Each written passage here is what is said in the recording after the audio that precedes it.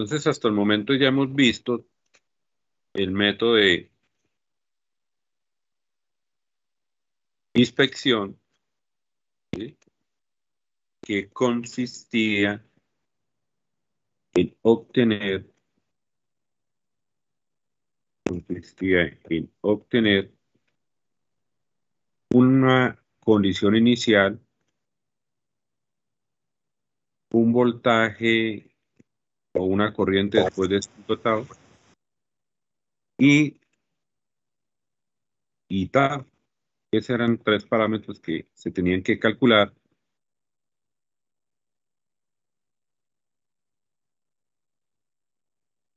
para el método de inspección. Para el método de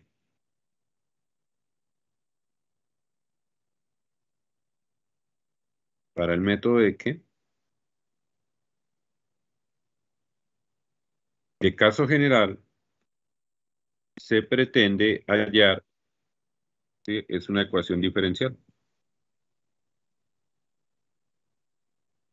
Y con esa ecuación diferencial, lo que se debe hacer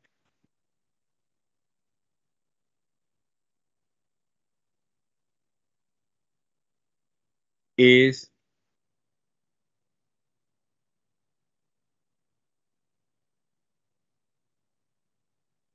es simple y llanamente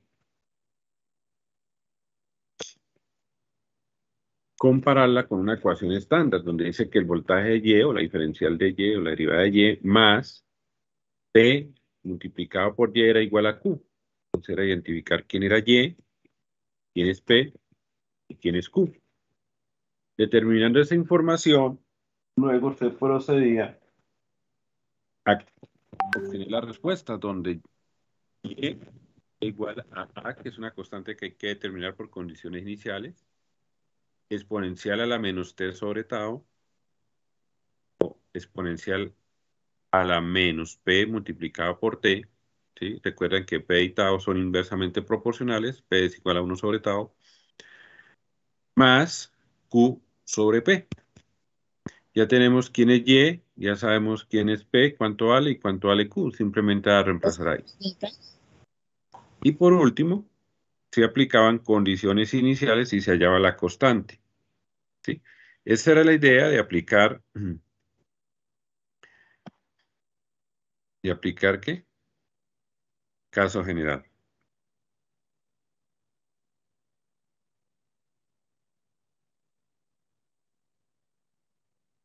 Entonces, vuelvo y repito, hay una ecuación diferencial de primer orden, compararla con una ecuación diferencial que ya es estándar, a partir de ahí hay tres parámetros P, Y y Q. Da la respuesta, da los valores de P, Y y Q. Y por último, allá la condición inicial. ¿Listo? Esa es importante.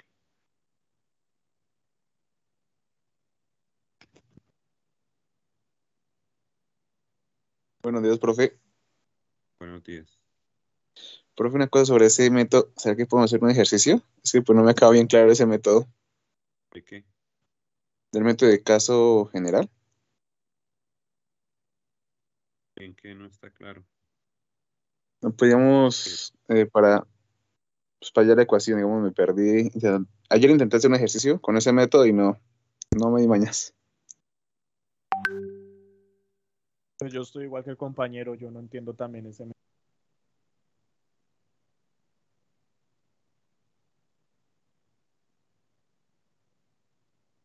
sea, no, no entienden cómo obtener la ecuación diferencial.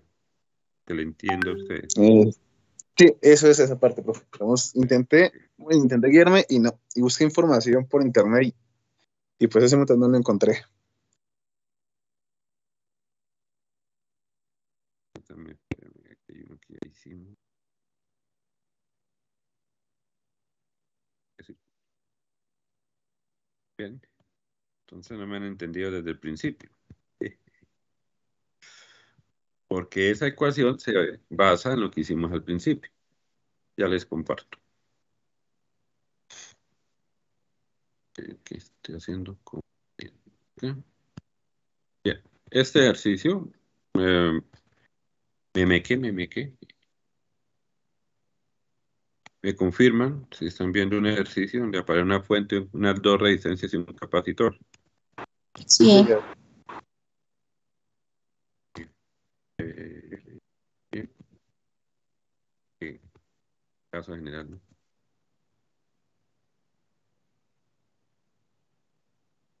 Entonces, lo primero que hay que hacer en caso general, las condiciones iniciales, creo que eso ya está claro. Me dicen que tienen dificultad en obtener la ecuación diferencial. Entonces, aquí voy a obtener la ecuación diferencial. Ese es punto clave en, cualquier, en este método y en el método que vamos a ver hoy. Me sirve para lo que vamos a.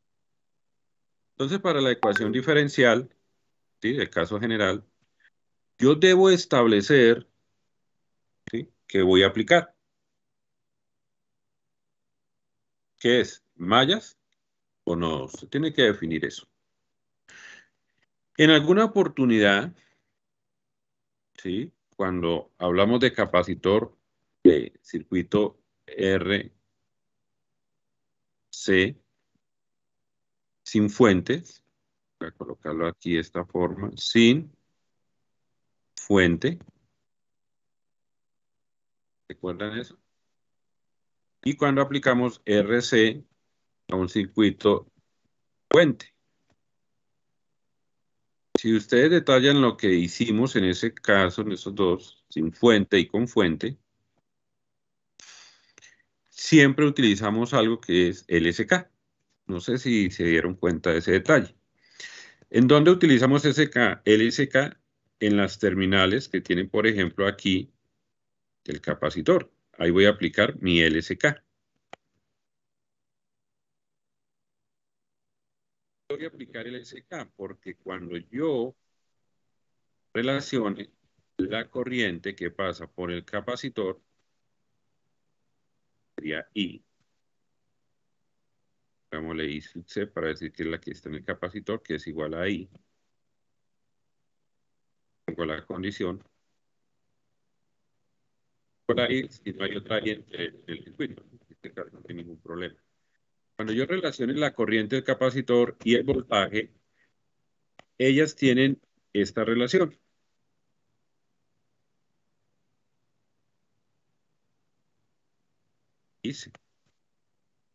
¿Recuerdan ahí dice?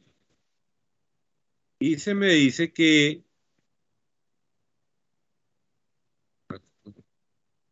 ello me dice que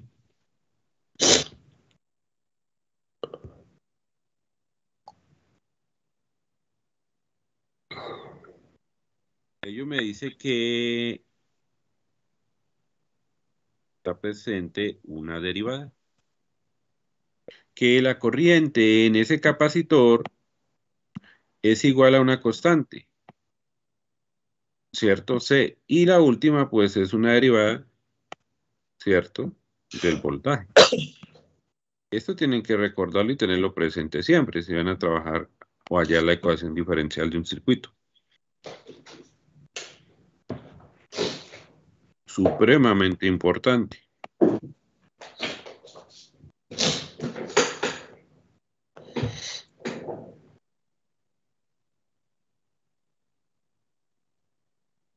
Bien, listo. Entonces, observen este detallito importante. Si fuese una bobina, pues es el I, el voltaje es L por la derivada de la corriente. ¿Listo? Entonces, yo ¿qué es lo que yo busco en un circuito RC? El voltaje en el capacitor. ¿Qué es lo que yo busco en un circuito RL? La corriente en la bobina. Eso lo tienen que tener claro. ¿Que me piden otra corriente, otro voltaje en el circuito? Pues hallo primero el voltaje y después me devuelvo hallo primero la corriente en la bobina y después me devuelvo. Así de sencillo. Entonces, vamos a hallar, ¿cierto? Vamos a hallar la ecuación diferencial. Aquí observen otro detallito particular y es muy común en este tipo de problemas. Es que aquí, si ustedes se fijan, pueden hacer una transformación de fuentes. Si ustedes quieren. Esa transformación de fuente pues, me permitirá al final obtener este modelo. Una resistencia en la parte superior, que sería de 4 más 6, eso me daría 10 ohmios. Listo. Una fuente de voltaje en serie con esa resistencia. Entonces aquí tendría más. Lo coloco afuera porque no me se me hace fácil aquí con él. Lo estoy dibujando. Pero eso va adentro.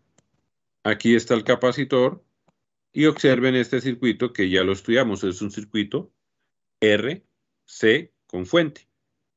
Y a ese circuito RC, recuerden, le aplicamos LSK en este punto. Y ahí partió para obtener la ecuación diferencial. ¿Vale? Ahí está. Si no lo hacen así, no hacen la transformación de fuentes, por ejemplo, y suman con 6 las dos resistencias y llegan al equivalente o aplican Thevenin. Entonces, si lo trabajan de esta forma, tienen que aplicar dos LSK. Una LSK una LSK aquí en este punto. Llamémosle a LSK1 y otra LSK en este punto. O sea, tienen que hallar dos ecuaciones. Bien, aplicando LSK y después resolver una en función de la otra. Bien. Borrar esto porque ya les di la idea.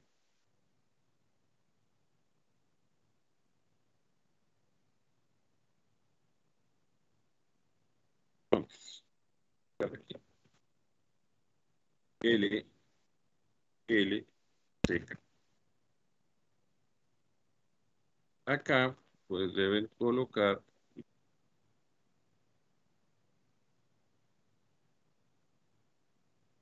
que lo que van a aplicar, pues vamos a aplicar es una suma de corriente, ¿cierto?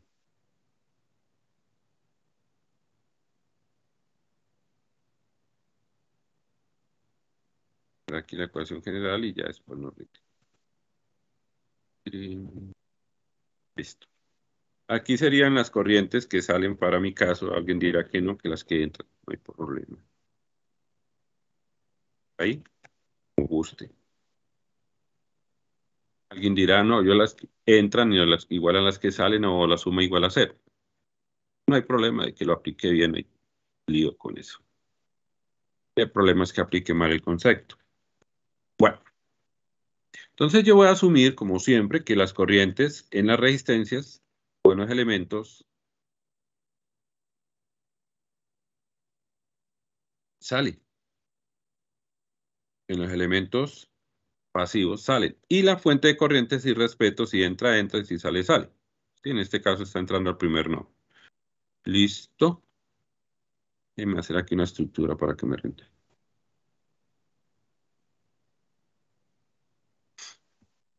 Y es así de sencillo. Listo. Entonces dije que la corriente que pasa por la resistencia de 4 ohmios está saliendo. ¿De qué? Pues de este nodo, que es el que va a analizar. Si sale, lo que encuentro es positivo porque un elemento pasivo. Aquí abajo, pues este sería tierra. Y aquí de arriba pongamos un voltaje, no sé, pongamos Vx. ¿Listo? Esta sale, esta corriente. Y esta otra corriente yo la voy a asumir saliendo. Está entre dos nodos Bx menos este voltaje se refleja. El voltaje del capacitor está entre el nodo superior y el de tierra, pues se refleja el voltaje. Y ya. Listo. Ya tenemos la idea. Entonces lo que hay que hacer simple y llanamente formular la ecuación.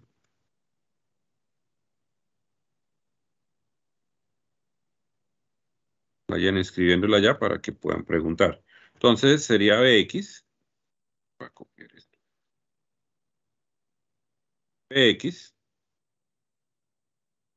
A ese Bx le voy a restar 0 y lo voy a dividir, eh, ¿qué dice aquí? 0 y lo voy a dividir en 4. Esa es la primera corriente, la que pasa por la resistencia de 4 ohms. Bx menos el otro voltaje, ¿cierto? Menos el voltaje sobre 6. Esas son las dos corrientes que están en las resistencias. Ahora va a ser igual a la corriente que está entrando En este caso, pues sería la corriente de fuente.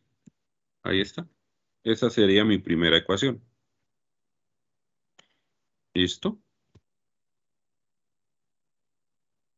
Vuelvo y repito, esto que está aquí está saliendo, pues debe coincidir con lo que yo coloqué aquí arriba. Esta otra parte está entrando, pues deben coincidir. Esta es la clave de ese juego. ¿Qué puedo hacer aquí? Multiplicar este señor por un factor que pueda eliminar este 4 y este 6. Yo diría que el término sería 12. 12 dividido en 4 da 3 y 12 dividido en 6 da 2. Me queda más fácil de, de resolver la situación. 12 dividido en 4 da 3, entonces sería 3 veces bx. Listo. Más 12 dividido en 6 da 2, 2 veces bx. Entonces observen que aquí ya puedo sumar las bx. Menos 2 veces el voltaje igual a 12 veces la corriente. Entonces, ¿Qué puedo hacer ahora? Pues sumar Bx para que me quede más, más reducida la, la ecuación. Entonces, nótese que aquí estas dos, estos dos términos los puedo sumar. Entonces, allá lo hacen porque les queda más fácil. Esa sería mi ecuación 1 para esa parte. Ahora, ¿qué voy a hacer? Me voy, me voy a ir al otro nodo y voy a volver a aplicar el SK, pero en, en el nodo 2.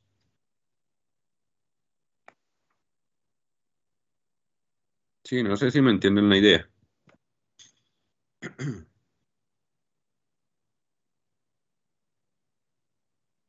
En el nodo 2,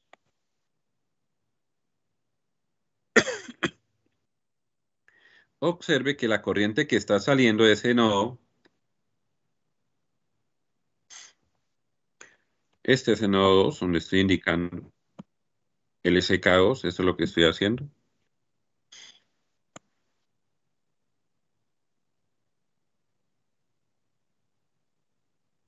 Observen, observen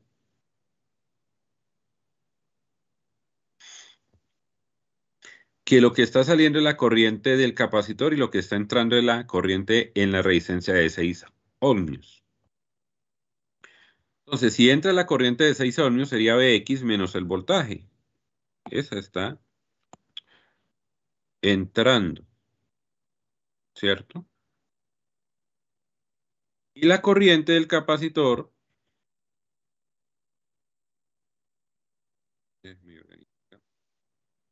corriente del capacitor está saliendo. Ahí está la ecuación. Vuelvo y repito,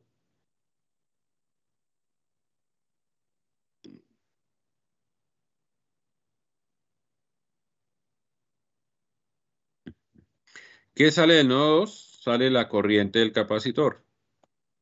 ¿Qué está entrando? Esta corriente, la de 6 ohmios. Entonces aquí está, la corriente del capacitor sale, eso es igual a la corriente que están entrando, Bx, menos el voltaje sobre 6. ¿Listo? Así de sencillo. Entonces, ¿qué sucedió aquí? Esta corriente del capacitor, si ustedes recuerdan, ¿sí? era C por la derivada del voltaje que está en las terminales del capacitor, en este caso V. Ahí está. Ello va a ser igual al voltaje de X menos V sobre 6. Y esta sería mi ecuación 2. Pero esa ecuación 2 yo la puedo mejorar, ¿cierto? Puedo despejar Bx de acá o puedo despejar Bx de aquí otra de la, de la ecuación 1. Puedo despejar Bx. Si gustan de ahí. O pueden despejar Bx de acá. al final una en función de la otra y con eso queda todo en términos del voltaje. Organizan la ecuación y ya está. Eso es todo.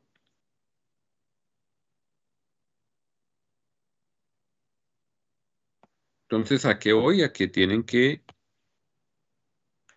recordar lo que hicimos nosotros en las primeras clases, cuando hicimos las demostraciones. Ahí en la parte demostrativa está la información que necesitan para operar acá. Lo otro, pues ya es usar las herramientas de circuitos 1. Tengo que aplicar dos LBK, pues bueno. Dos LSK, bueno, hágale. Ya, así de fácil. De la 1 queda más fácil despejar o de la 2. Muestre de la 1. Es que aquí es difícil. De equa dejar bx Veamos cómo quedaría Bx.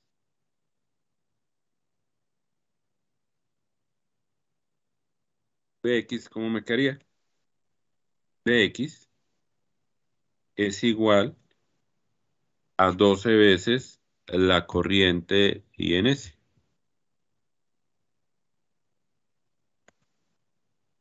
INS. ¿Listo? Mm, ¿Qué más me queda? Más dos veces el voltaje. dos veces el voltaje. Eh, 12 y ese quedaría dividido en 5, ¿no? Y dos veces el voltaje quedaría dividido en 5. Entonces aquí voy a colocar este en 5. Y esta que está aquí dividido en 5. Así me quedaría verifiquen igual.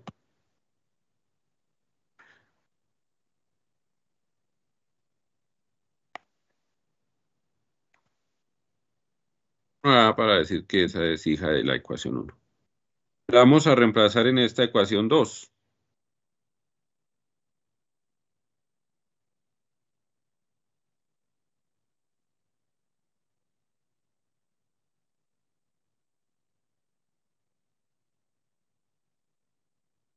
Y ya.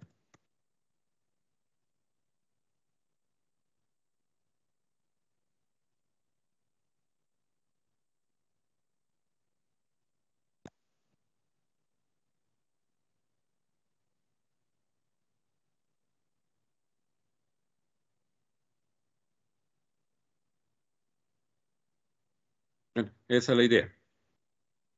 Ahora aquí, como me quedaría C, C vale 0,5, eso es un medio.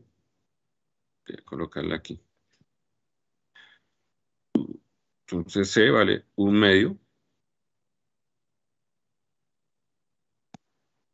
Derivada del voltaje.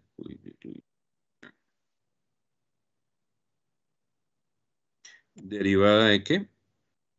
Del voltaje. Va a ser igual a Bx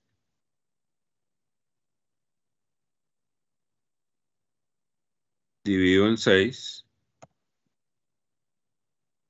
menos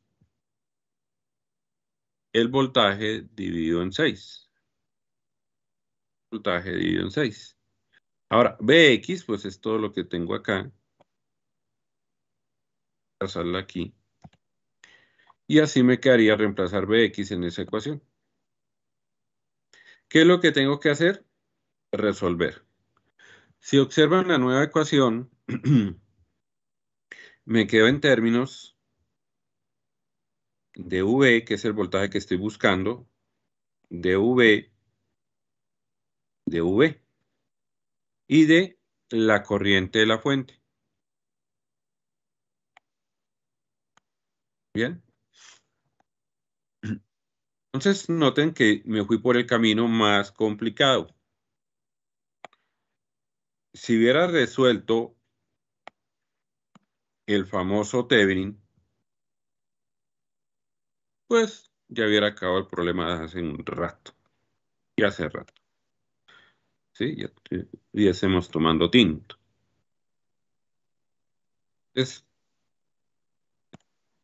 Esas decisiones hay que tomarlas al principio, ¿cierto? Lo primero que debían haber hecho, pues era eso. Dejamos de una vez hecha esa ecuación. Y haber dicho, no, voy a trabajar con... Voy a trabajar con qué? Con Teven y así pues se evita uno pues toda esta cantidad de trabajo. Bien. Pero ya lo hicimos de esta forma, bueno, se puede, si es válido, no hay problema. Pero es más largo el trabajo, más largo el trayecto. Ahora hay que resolver esto. Entonces hagámoslo rápidamente porque el tiempo ya se nos está yendo. Entonces aquí quedaría extremos y medios, ¿cierto? Voy a copiar esto para poderlo resolver acá, ya les queda más fácil.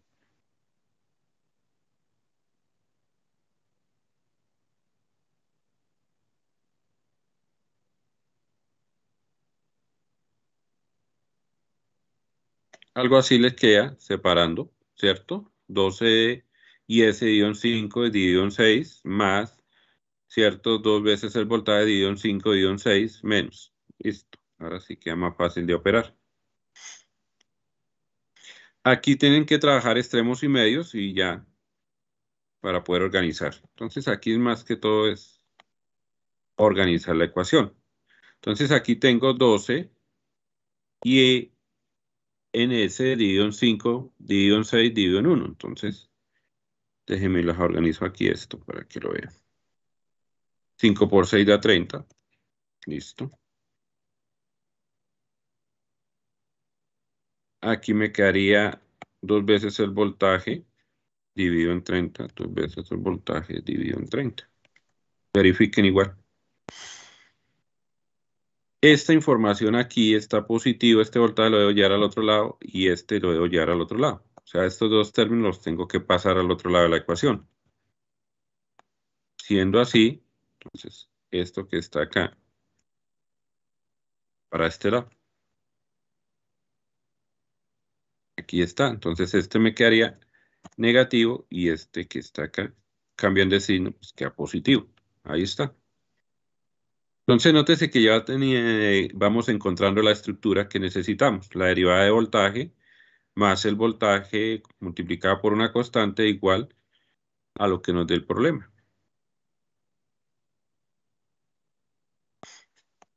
¿Listo? Esta derivada de mayor orden está multiplicado por un medio, entonces tengo que multiplicar de una vez, para ahorrar tiempo aquí, toda mi ecuación por 2.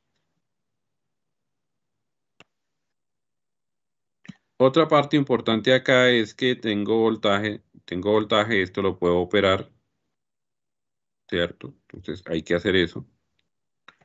Y ya.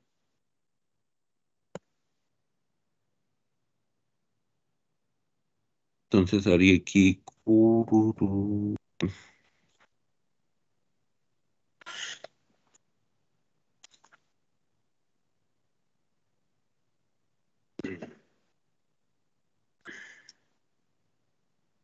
Me quedaría 2 dividido en 6 menos 4 dividido en 30. 30, 60 menos 6 por 4, 24, 6 multiplicado por 3 da 18, le agrego un 0. 60 menos 24, 6 para 30, 36 dividido en 180. Hagan la operación ahí con el voltaje. me perdió la calculadora. ¿Sí? O sea, operen esta partecita que está acá. A eso es que me refiero. Para que organicen mejor la ecuación.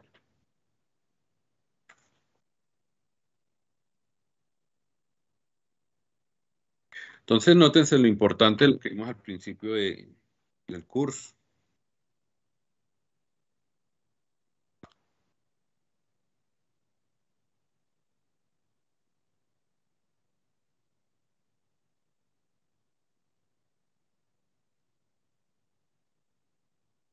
Eso le daría menos un quinto, verifiquen.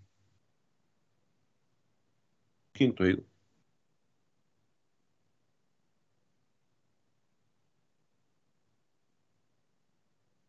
Verifiquen. Y aquí 12 por 2 daría 24 o 12 dividido en 15.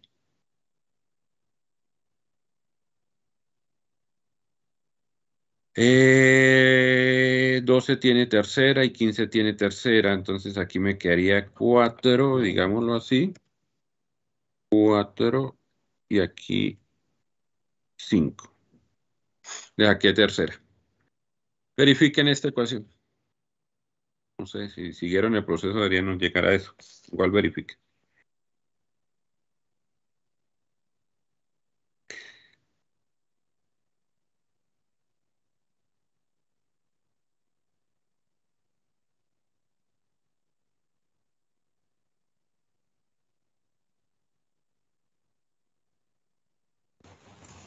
Profe, no da 1 sobre 5, sino 1 sobre 10. Sí, profe, yo también estaba mirando y también me da uno sobre 10. 1 sobre 10, bueno. Pero recuerden que multipliqué todo por 2, ¿no? 2 por 2 da 4, 4 dividido en 30, más 2 dividido en 6. Noten el 2 que está acá afuera. Ese 2, ¿por qué lo coloqué? Porque tengo que quitar, ¿cierto? El 1 medio que es- multiplica la derivada. Entonces verifique. Sí, profe, da un Sí. quinto. Sí. O un décimo multiplicado por 2, por la mitad de 10, pues daría 5, un quinto. Listo. Pero observen el trabajo. Si nosotros hubiésemos hecho transformación de fuentes, pues el voltaje de la fuente sería cuatro veces la corriente, cuatro veces IS. En serie después queda 4 y 6, entonces quedaría una resistencia de 10 ohmios en serie con una fuente de cuatro veces la corriente y en serie de un capacitor.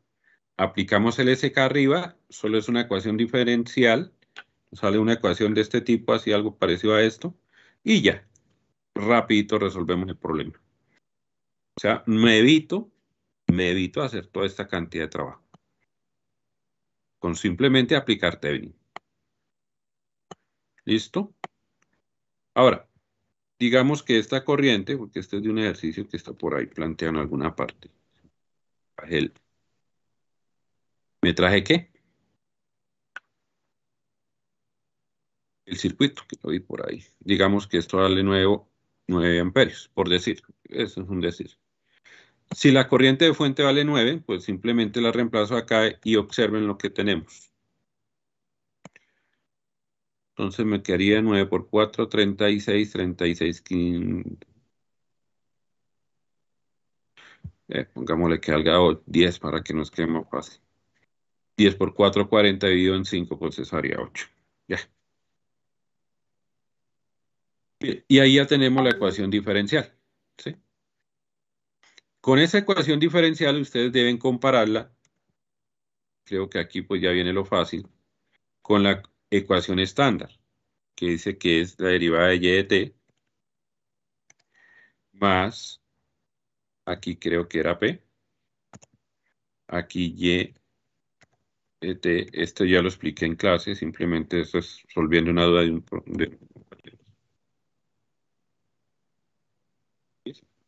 Y aquí partían y se comparaba con la otra ecuación, que era y t era igual a a, si mal no recuerdo, una constante. Esa varía de acuerdo al libro. Algún libro puede ser B, en otra puede ser X, otra puede ser Y, o K, algunos lo llaman K, menos T sobre tau.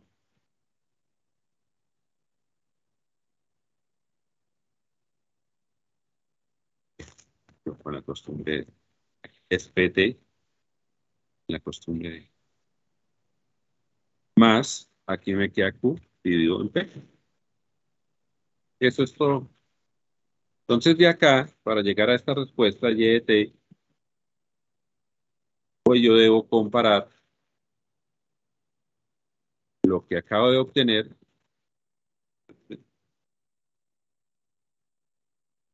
¿sí? identificar quién es P, quién es Q y quién es Y. Entonces ahí simplemente es visualizando. Entonces vemos que Y de T es igual al voltaje, así nomás. Vemos que P es igual a 1 dividido en 5 y vemos que Q es igual a 8. Ahí está. Así de sencillo. Y si necesitan Tao, también lo pueden hallar allí ahí directamente. Tao es la inversa de P. ¿Para qué necesitan Tao? Pues para graficar. Entonces Tao va a ser igual a 1 dividido en P. Reemplazan P, extremos y medios. 1 dividido en un quinto, extremo y medio, pues me haría 5 segundos. Ahí está.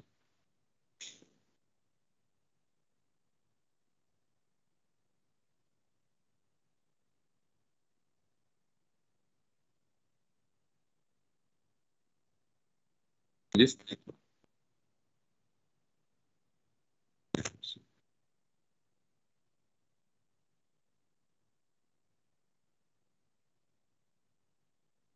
Así es. Ahora, ¿qué hay que hacer? Pues reemplazar ese P y Q en la ecuación de Y de T. Y listo. Contra la constante. Esa se aplica con condiciones iniciales, si ustedes recuerdan. Y ya. Esa es la solución por caso general. No sé si tengan alguna duda.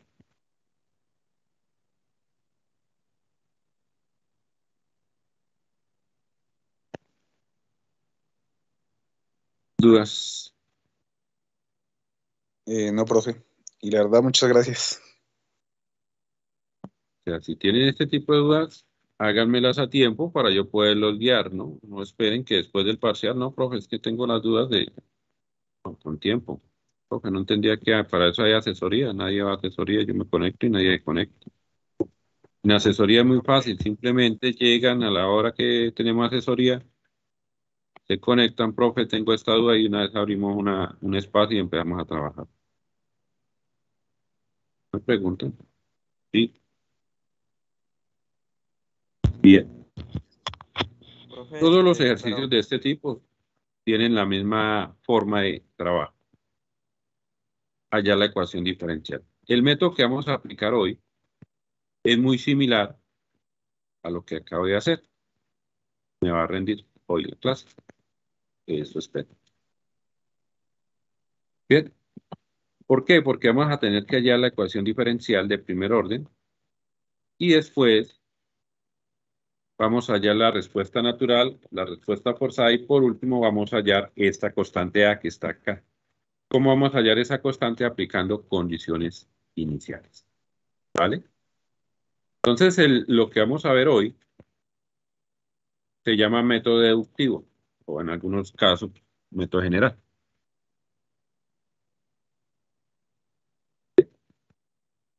Está en la DOR, está en la Irwin, en Alexander lo podemos ver, pero de forma general. No está tan detallado como está acá, por decirlo. Está, pero es un qué. Lo hacen y al final, pues, simplemente lo aplicaron y ya. Bueno, aquí lo voy a detallar paso a paso para que nos quede más fácil de entender la idea. ¿no? Entonces, copiemos rápidamente lo que está acá y ahora lo explico.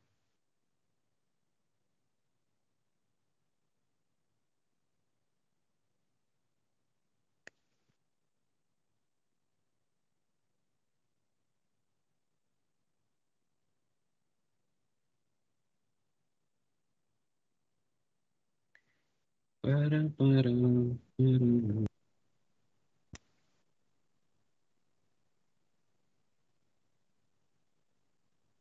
Este método que vamos a trabajar ahora nos va a servir para circuitos de segundo orden. Entonces, importante.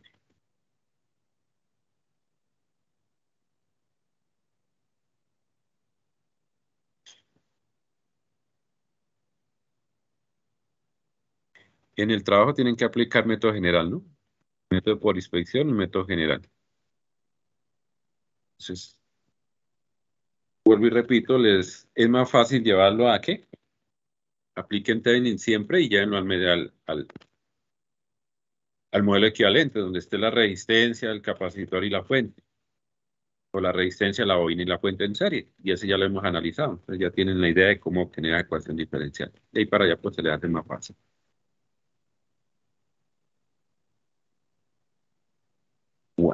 Y recuerden que Thevenin simplemente es un método para obtener el equivalente, ¿no? Cuando usted aplica para allá la resistencia, si se apaga la fuente, pues series y paralelos. Si tienen fuente, pues aplica nodos y mallas para allá la resistencia. Caso 1, caso 2. Juegan con eso. Es más un procedimiento que, ¿cierto? Que hay que hallar una resistencia, que hay que hallar un valor de voltaje. Norton es lo mismo, hay que hallar una resistencia, hay que hallar una corriente para una fuente. Ya.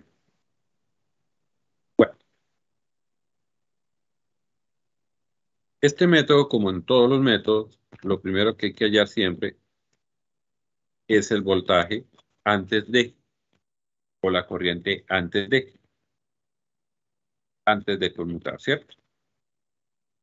O si tienen un escalón unitario, antes de que cambie estado ese escalón unitario. Y eso fue lo que vimos la clase pasada. Antes de. Después de que obtengan ese voltaje en cero menos o esa corriente en cero menos, cambian de estado para T mayor que cero, por ejemplo, pues, después de que conmute. Cuando el escalón unitario cambia de estado. Bien. Y ahí van a establecer el voltaje en cero o la corriente en cero. Esto que llamamos condiciones iniciales. Esto es general para todos los métodos. Ya lo hemos hecho en todos los ejercicios. Entonces creo que ahí no hay ninguna dificultad. Pensaría yo. El segundo, mire, aquí viene lo que acabamos de hacer, por eso fue importante. El punto clave de este método es la ecuación diferencial. La ecuación diferencial.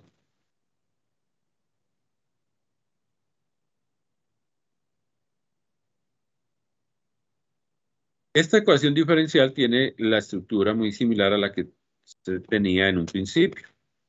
Vamos a empezar el tema. La derivada de x, x puede ser voltaje, puede ser corriente, más una constante, constante A, x, voltaje o corriente va a ser igual a y. En este caso, esta y es lo que se llama función forzante. Ahorita lo vamos a ver en una tabla. Y es la función forzante. X, corriente y voltaje.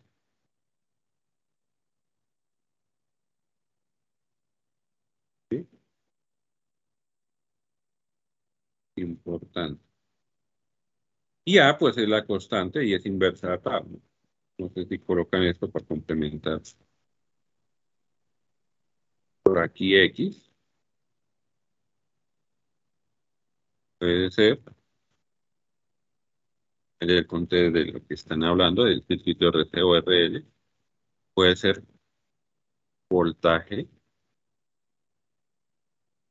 puede ser corriente.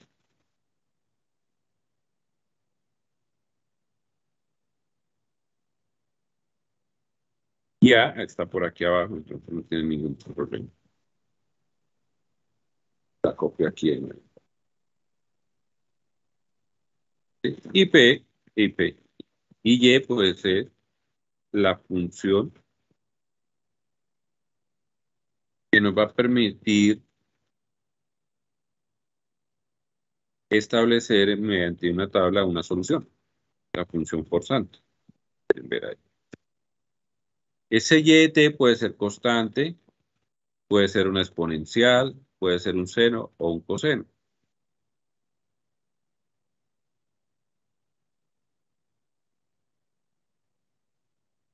Ahí está, esos son los nombres que recibe lo que tiene esta primera ecuación. ¿Listo? ¿Se ven ecuaciones diferenciales? Sí, claro, por eso es de ecuaciones diferenciales. Bueno. Entonces, punto clave, allá la ecuación general, eso es clave. Tercer paso, establecer una ecuación homogénea para ya la respuesta natural. Recuerde que esa ecuación homogénea, esa ecuación homogénea, ecuación diferencial de primer orden homogénea, se establecía cuando el circuito no tenía fuente. ¿Qué quiere decir? Que aquí YT vale cero.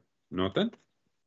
Solamente me queda esta parte. La derivada de x más a multiplicado por x igual a 0. Esa es la ecuación homogénea. Ecuación diferencial de primer orden igual a 0. Ecuación homogénea. Aquí les coloco la nota para que lo tengan claro.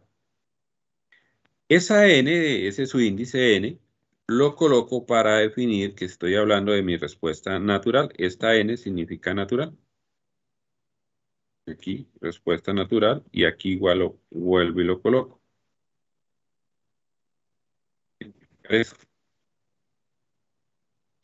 A esta ecuación diferencial ya le conocemos la respuesta.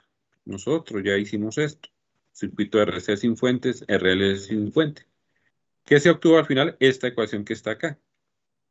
A es una constante. En otro libro se puede llamar B, en otro libro se puede llamar K, un nombre de la constante, como quieran. Una letra mayúscula. P no le vamos a colocar porque nos confundirían de pronto con potencia, porque más adelante vamos a tratar con potencia. Tampoco se podría. Debemosla como A, una constante y ya. Mayúscula, ¿no? Eso sí hay que tenerlo claro. O K, como lo usa la Irwin. Bien. ¿Listo?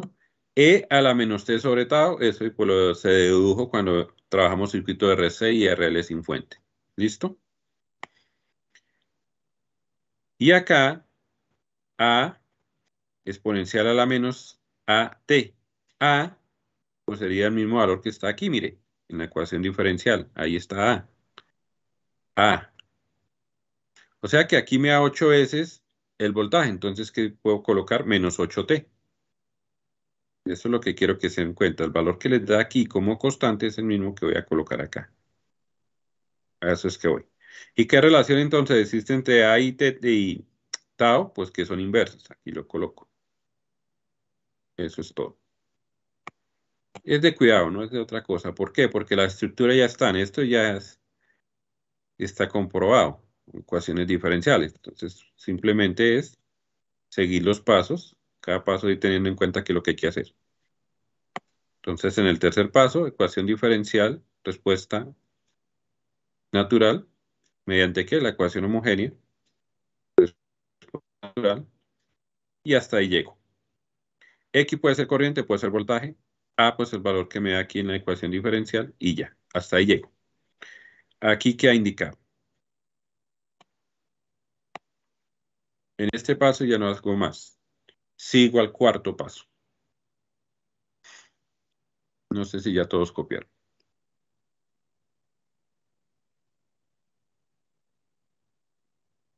Sí, profe.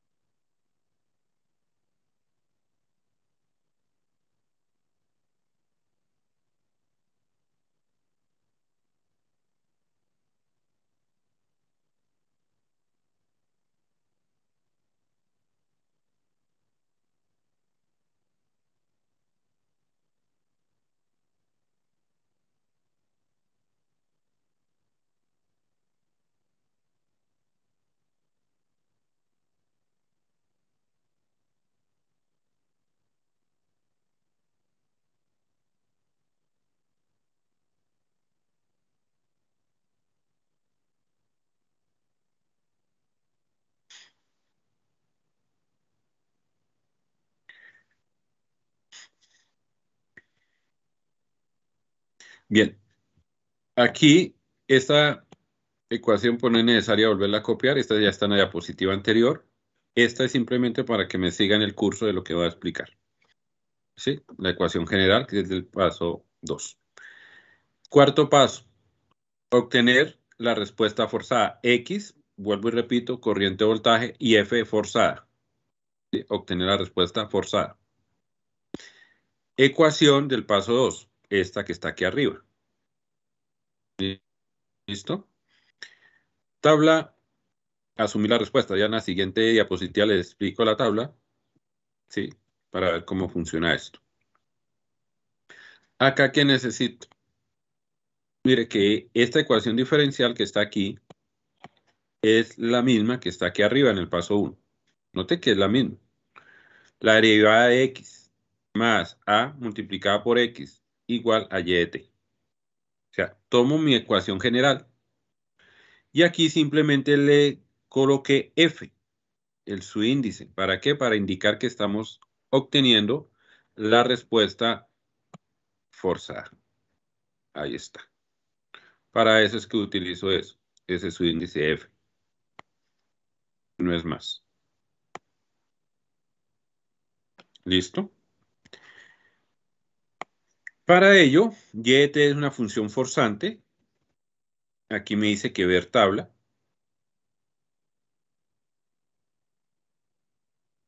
Y en la tabla nos vamos a encontrar que esa función forzante puede ser una constante, una exponencial, una sinusoidal y pues pueden haber más, una rampa, parábola, qué sé yo, hay varias pero las que más utilizamos nosotros es la constante, ¿sí? como lo vimos en el ejercicio anterior, exponenciales, senos y cosenos. Eso es lo más típico que nos encontramos.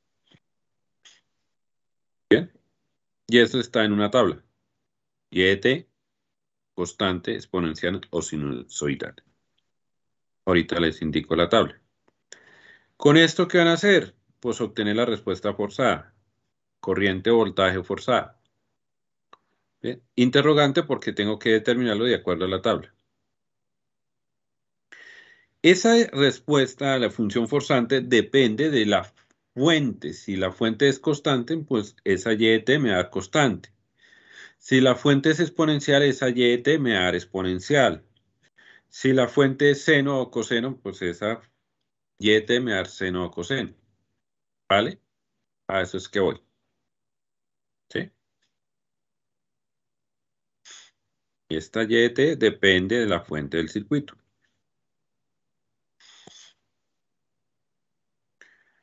Bien.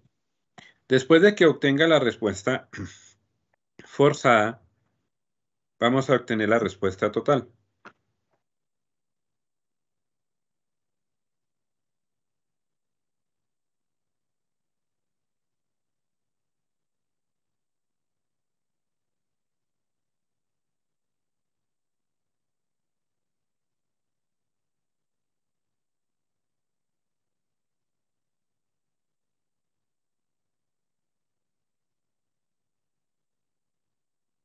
Y esa respuesta total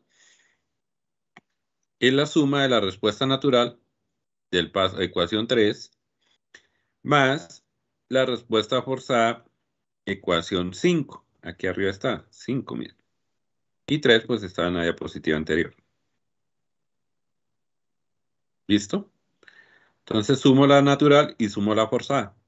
Al sumarla me queda algo así como esto que está acá.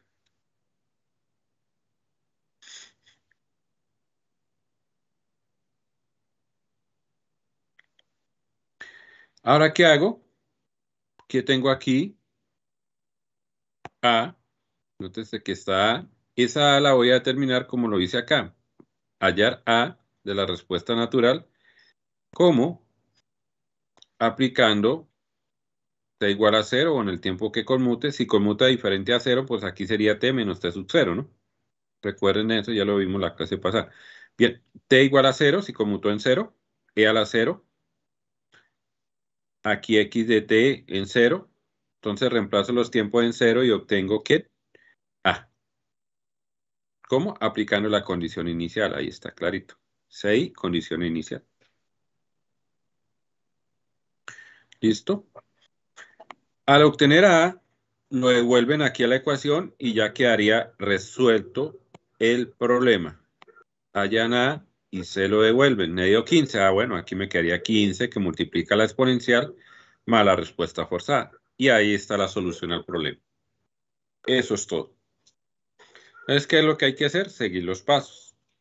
No es más.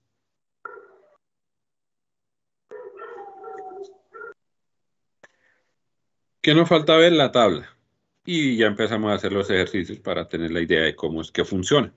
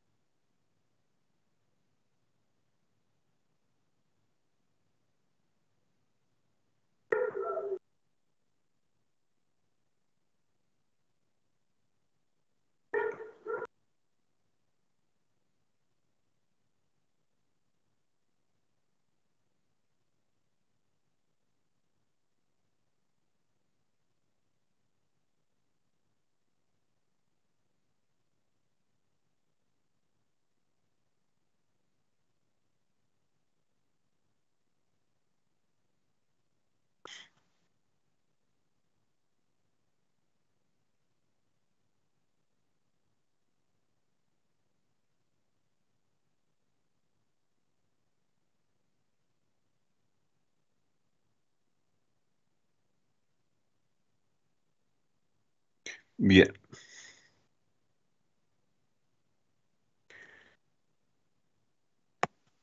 ¿Listo? Vuelvo y repito, hay que simplemente seguir los pasos. Entonces vamos a hacer un ejercicio, eh, la tabla antes de pasarse. Esta es la tabla, muy sencilla. Podemos encontrarla más extensa en algunos libros de circuitos. Sí, se puede. En el circuito, los que nosotros manejamos, solamente encontramos la constante, la exponencial, la sinusoidal y de pronto la rampa. La que más manejamos son las tres primeras. Aquí arriba está la función, derivada de primer orden de la respuesta forzada. Nótese que dice, está su índice f, forzada.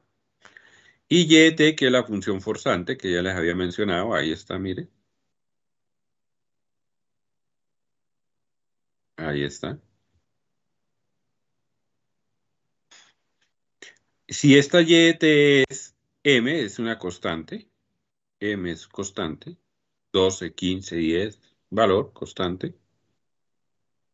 m es constante. Si esta y es m, e a la menos b de t, o sea, una exponencial. Aquí está el nombre, la primera columna, exponencial. Si y es m seno omega t, o si por el contrario es m coseno omega t. Sí, esto depende del circuito, de la fuente. Es una sinusoide. O sinusoidal, que es lo mismo.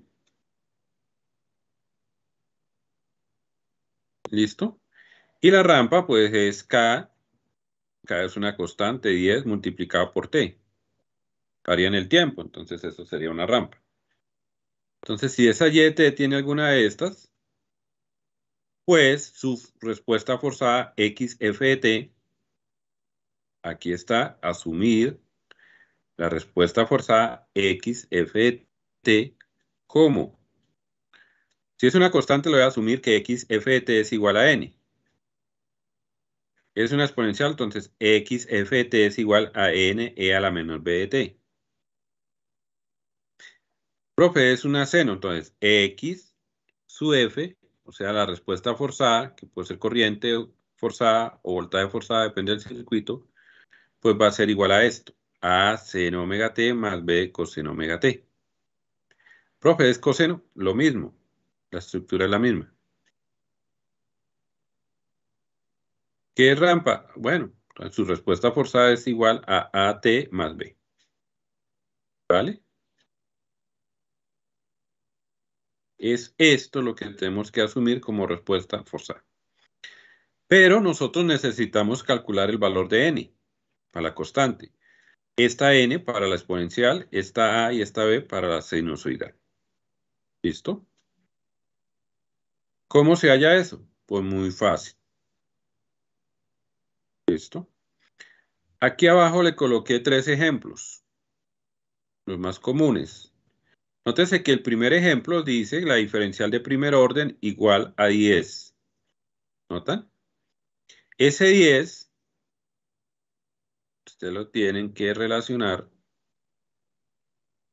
con YT. Este YT que está aquí arriba, pues sería este 10 que está aquí abajo. ¿Qué sería eso? Pues mi función forzante. Pero 10 es una constante, entonces m constante. Ese m es igual a 10. esa m es una referencia de que es una constante. Ahora, mi respuesta forzada. Miren la tabla. x f es igual en ese caso a quién? A n. Listo, aquí lo coloqué. La respuesta forzada es igual a n. ¿Qué tengo que hacer? n qué valor tiene? No sé, tengo que hallarlo. Entonces, esto va a ser igual. Voy a colocar aquí un interrogante. Eso quiere decir que tengo que hallar ese valor. Bien. Ahora aquí van a, a tomar la derivada de la respuesta forzada. Es una constante. X su f es una constante. La derivada de una constante pues sería de ser cero. ¿Qué hago con esa información? Vengo acá, reemplazo esto por cero. Vengo acá, esta xt, que es la forzada, pues lo reemplazo por n. A tiene un valor, entonces n va a ser igual a 10, en este caso, dividido en A. A como es una constante, 10 dividido en una constante me debe dar una constante, n es una constante. Y así obtengo el valor, así de sencillo. Si es de segundo orden, pues vuelvo y derivo una segunda vez de ubico la, ¿qué? La derivada de segundo orden lo reemplazo. La derivada de segundo orden de una constante pues sigue siendo cero. 0 más 0 más a que multiplica n igual a, a la constante, despejo n y allá. ¿Qué hago con esa n? Pues esa es mi respuesta forzada, ¿ya? Así de fácil es eso.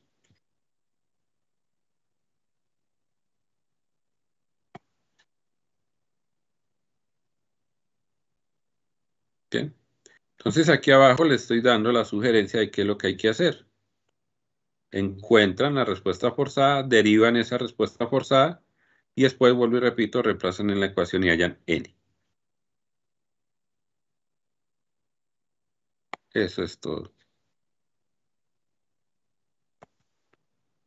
Reemplazar aquí para que lo asocien más fácil.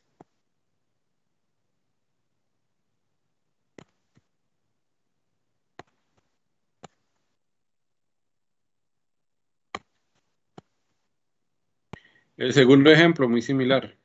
Pero observen que YT ya no es una constante. YT, YT, lo que está aquí, YT, YT, comparen con la que está aquí arriba, es 4.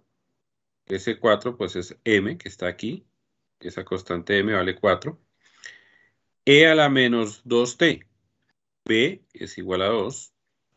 Ahí está, compare la, esta con esta.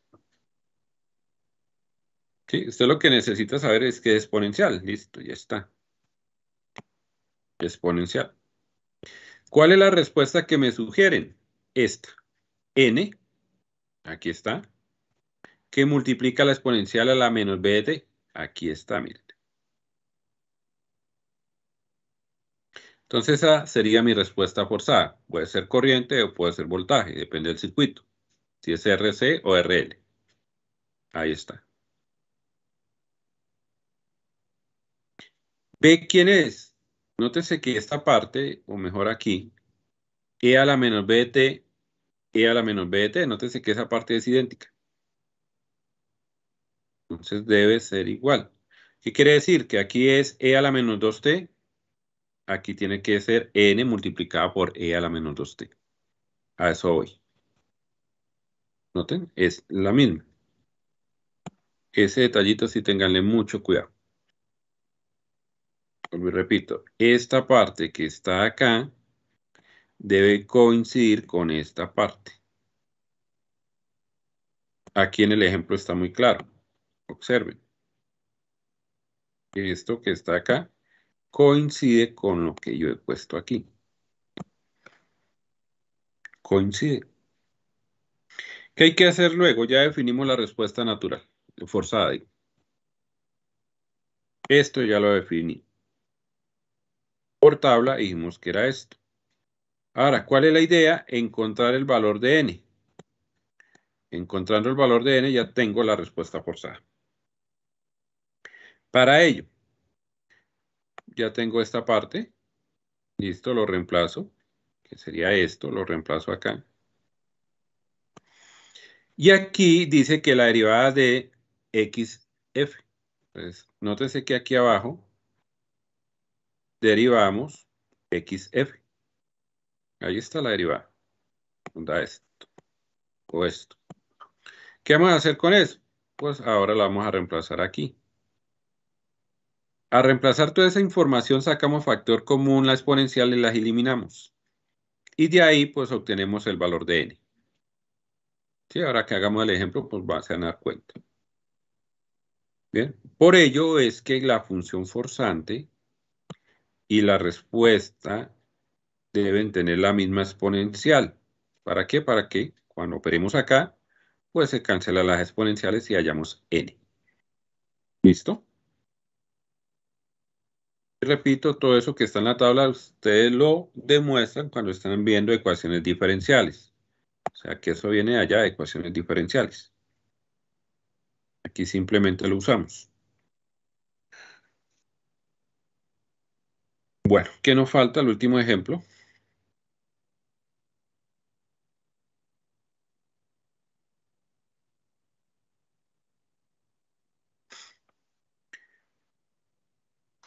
En el último vean que dice que mi diferencial de primer orden para la respuesta forzada es igual a 8 coseno de 4t, por decir. Entonces vengo a mi tabla, aquí dice m coseno omega t. Entonces, aquí está.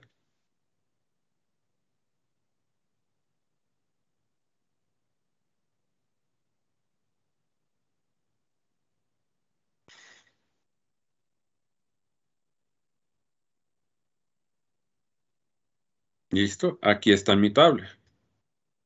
8 coseno de 4t es lo que tengo como y de t. m es 8, omega pues es 4. Aquí arriba lo coloco para que lo visualice. M, vuelvo y repito, pues es una constante que multiplicado por un coseno. En este caso sería 8 multiplicado por el coseno. ¿Qué hay que hacer con eso? La respuesta forzada que me sugieren es esta, a seno omega t omega, vuelvo y repito, vale 4, ahí lo coloqué, más b coseno omega t, vuelvo y repito, omega la sacamos aquí del argumento, entonces que es 4, pues simplemente lo reemplazo.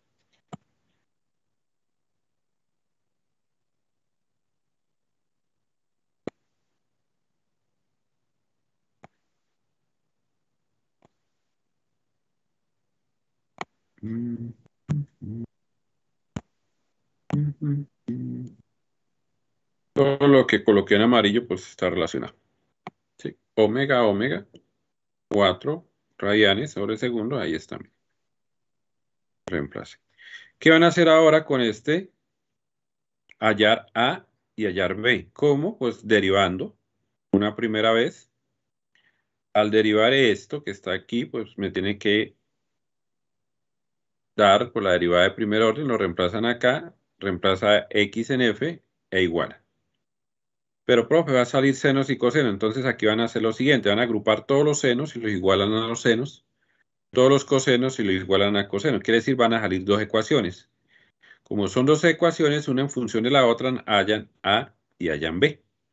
Hallan A y hallan B. ¿Listo? Eso es importante. Aquí me quedaría, muestre a ver.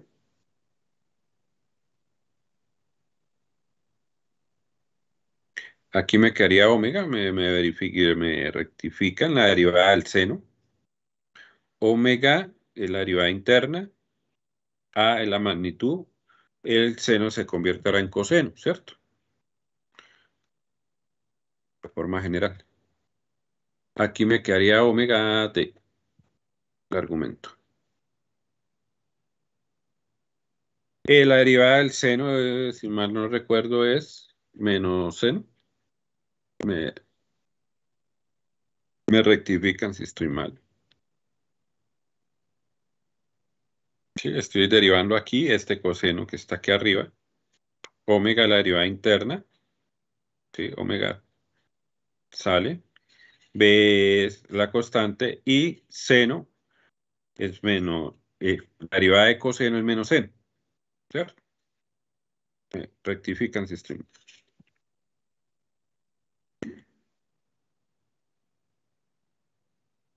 Ya saben cuál es el valor de omega, sí, 4, pues simplemente lo reemplazo. ¿Listo? Entonces observen aquí que XF tiene dos incógnitas, A y B. La derivada tiene dos incógnitas, A y B. Cuando yo reemplace esta información aquí en esta ecuación, me va a quedar en términos de senos y de cosenos, ¿notan? Entonces, ¿qué tienen que hacer? Vuelvo y repito, agrupan todos los senos y lo igualan con los senos al otro lado. Si no hay seno, pues igual a cero. Agrupan todo lo que es coseno y lo igualan con lo que tengamos al otro lado como coseno. Si no hay coseno, pues lo igualan a cero. Eso que me permite obtener dos ecuaciones. Y esas dos ecuaciones que me permiten hacer allá la constante A y B.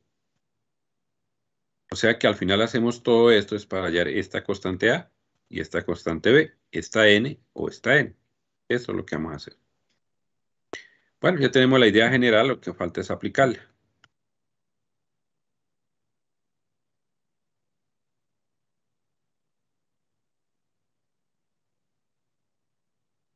Después, ¿qué hacemos con esto? Ya tengo la natural, tengo la forzada, la sumo y hallo la constante de la respuesta natural.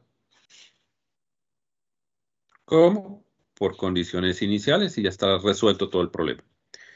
Vuelvo y repito, este método lo vamos a utilizar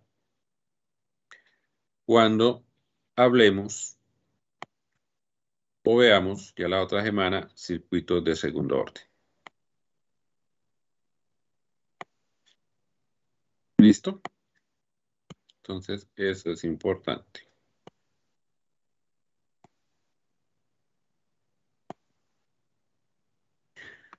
Bueno. vamos a aplicar el método a un circuito.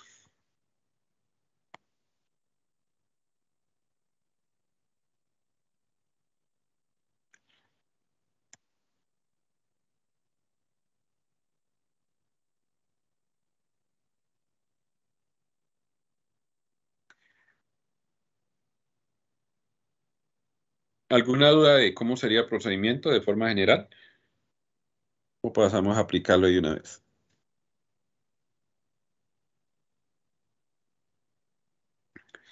Nada, todo chévere. Bueno, sigamos acá. Ejercicio. Este es un clásico de la asignatura por dos cositas. Primero, la fuente es exponencial. Y segundo, observen acá, aquí hay una característica de este ejercicio. Nótense que en, el capacitor me dice que tiene 18 voltios. Ok.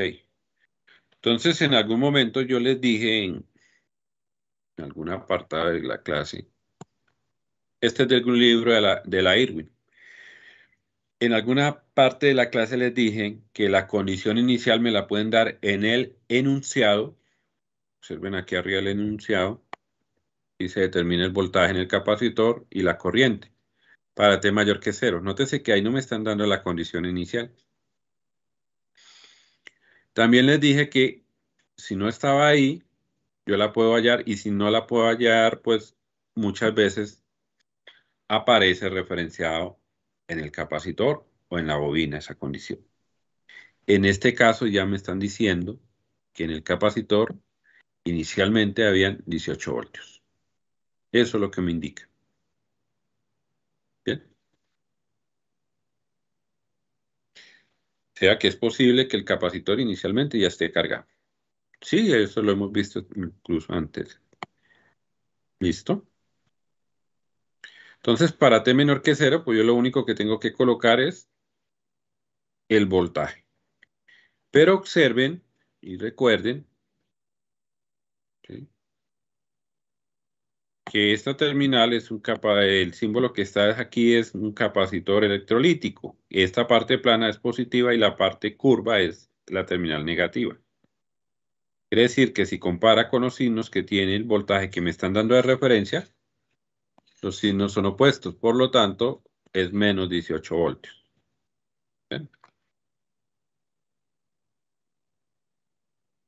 Eso es todo lo que tienen que tener cuidado ahí. ¿Qué quiere decir? Que para T menor que cero, ustedes ya conocen qué voltaje tiene ese capacitor. Tiene un voltaje en las terminales de menos 18 voltios. No es más lo que hay que hacer ahí. Para T menor que cero. Si no aparece en ese voltaje, pues el voltaje ahí sería cero. Si no me dan ese voltaje ni acá en el capacitor, ni acá en el enunciado, pues para T menor que cero, estaba abierto el interruptor, el voltaje ahí sería 0 voltios. Se descargó. ¿Vale? Aquí me dan la condición, pues opero con la condición. Así de fácil. ¿Qué tengo que hacer en el primer paso? Hallar la condición inicial. Entonces ya y t menor que 0, ahora tengo que hallar t mayor que 0.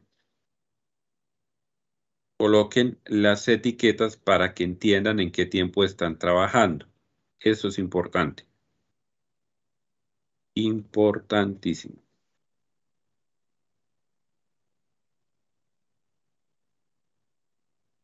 Condición de memoria para establecer la condición inicial. Entonces, esto ya lo hemos trabajado, creo que ya ahí no tenemos dificultad. Vuelvo y, recuerdo que esto es estándar. Voltaje en cero va a ser igual a voltaje en cero más, va a ser igual a voltaje en cero menos. Eso es estándar.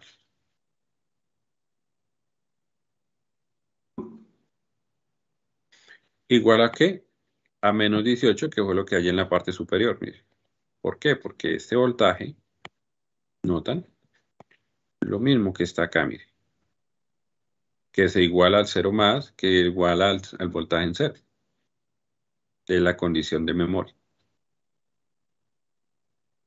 Y con eso determino el voltaje inicial, que es esto. Ahí está. Estos pasos se hacen siempre para cualquier método como se llame. Método operador, método por inspección, método caso general, método de paso a paso que hay por allá en otro libro, Irwin, que no lo alcanzamos a ver por tiempo. Pero ya con estos tres es suficiente. Como se llame el método, siempre tienen que hallar la condición inicial, siempre. ¿Listo? Ese es el primer paso, que ya se dijo, ya lo cumplimos. Segundo paso. El segundo paso les dije que es crucial porque hay que determinar la ecuación diferencial de primer orden. Importante.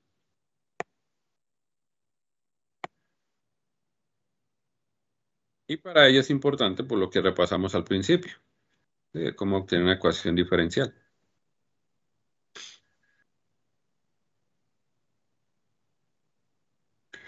Pues muy sencillo aquí en este circuito. Para T mayor que cero, nótese que el interruptor se cerró. Se cerró, mire. Me queda un circuito con fuente, resistencia y capacitor. Está en serie. Y ese modelo en serie nosotros en alguna oportunidad ya lo estudiamos. Quiere decir que aquí en este nodo le vamos a aplicar lo que se conoce como LSK.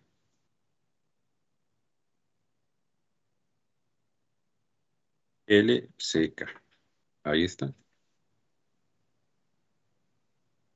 ¿Por qué en ese no? Porque es que yo necesito identificar hallar el voltaje en el capacitor. tengo que hallar el voltaje del capacitor. Entonces mi ecuación diferencial va a estar en términos de ese voltaje del capacitor. Y aquí está referenciado, voltaje VCT. ¿Cómo logramos eso? Pues LSK. Recuerden que aplicamos LSK para obtener una ecuación en términos del voltaje. ¿Y qué yo necesito? Pues el voltaje en el capacitor. De relación de esta forma. LSK para obtener una ecuación en términos del voltaje. Profesor inductor, pues apliquen LBK. Cuando usted aplican LBK, obtienen una ecuación en términos de la corriente. ¿Y qué necesitan en una bobina obtener primero que todo? La corriente. Ahí está, LSK, LBK. ¿Listo? Importante dibujar que todo lo hacen sobre el mismo circuito, pues después de que le entregue el parcial, si no hacen caso, van a ver que van a cometer errores y errores muy sencillos. Por simplemente no dibujar. Eso es clave. Supremamente importante, dibujar. Listo. Bueno. Entonces aplicamos la LSK en ese nodo eh, asumo que corrientes entran, que salen. En mi caso, pues yo voy a asumir que las dos corrientes salen. Alguien dirá, no, profe, aquí está entrando y está saliendo. No importa, como quiera. Eso es lo que usted decide. Lo importante es que aplique bien este concepto. Que las que salen se sumen donde salen y las que entran se sumen donde están entrando. Y que respeten el igual. Eso es lo importante. De resto, que usted diga esta entra, esta sale, o las dos entran, las dos salen, ya eso es. Ya es decisión de cada cual.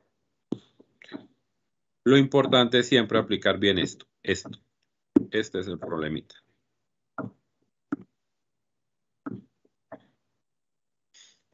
Ahí está. Yo apliqué que es la sale, entonces el voltaje del capacitor menos el voltaje de la fuente. Nótese que este se refleja en el nodo sobre 5K. Ahí está la diferencia de potencial sobre la resistencia. Si es de 5, se coloca 5. Si es 5 kiloohmios, se coloca 5 kilos. Si está en mega, pues se coloca el mega. Más. Más. La corriente que pasa por el capacitor, recuérdense que era IC. C, valor del capacitor, 25 micro, multiplicado por la derivada del voltaje que está en el, capacitor, que es el voltaje del capacitor. Ahí están. Importante que coloquen kilo si está la resistencia en kilo, mega si está en mega, o ohmios si está en ohmios. ¿Por qué? Porque aquí hay un micro. Entonces, cuando usted resuelva y no coloca este acá, puede cometer un error muy vasto a este nivel, ¿no? Entonces, ojo con eso. Si está en kilos, se colocan los kilos. Así para todo. Serie, paralelo, mixto, lo que sea, siempre se coloca ese perfil. Bueno, después de que esté acá, ustedes observan que la derivada de mayor orden, en este caso de primer orden, está multiplicada por 25 micro. Entonces recuerden, y ya lo he dicho muchas veces, debo colocar paréntesis, notes donde estoy colocando los paréntesis, y multiplicar por 1 dividido en 25 micro. ¿Vale? ¿Para qué? Para que la diferencial, en este caso, el primer orden, quede multiplicado por 1. Voy a colocar aquí el símbolo de micro. Me queda más fácil. Micro con micro se cancela y me quedaría la derivada del voltaje del capacitor, ¿cierto? Ahora aquí, 5K está multiplicado por 25 micro, entonces por eso es importante colocarla acá. Aquí es kilo y aquí es micro. Entonces recuerden lo que vimos en base 10 en circuitos 1, 1 por 10 a la 3 multiplicado por 1 por 10 a la menos 6. Tengo la misma base, sumo exponente, me quedaría 3 menos 6, entonces me quedaría en mili. O sea que multiplico 25 por 5, eso da 125 mili. Ese mili, base 10, sube arriba como kilo. Entonces me quedaría 1000 dividido en 125 y eso daría 8. Bueno, ya hice la operación sin tener calculadora. Bueno, no sé. Bueno, aquí les coloqué igual lo que tenían que hacer. Ya les di la idea igual. Hay problema. Recuerden la ecuación de general, ¿no? Esta la derivada está simplemente la derivada multiplicada por 1. Por eso es que hacemos todo este proceso que está acá. De segundo orden, hacemos tal cual. Hay una ecuación diferencial por aquí, segundo orden, la derivada de segundo orden, y hay una constante que lo multiplica, entonces tengo que quitar esa constante. ¿Cómo? Pues multiplicando toda la ecuación. Importante los paréntesis. Si usted no coloca los paréntesis, he visto lo siguiente, para poner el ejemplo. Por ejemplo, colocan este. Voy a colocarla acá. Entonces observen que este 1 dividido en 25 micros solo me está afectando el 0. Y después salen, no, que esto está afectando a este término de la derivada y está a este diferencia de voltajes. Eso es falso. Recuerden cálculo. He visto mucho eso, entonces por eso soy recurrente que los paréntesis donde se deben colocar. Y para evitar ese error. Bueno, entonces aquí me quedó ya la ecuación diferencial de primer orden.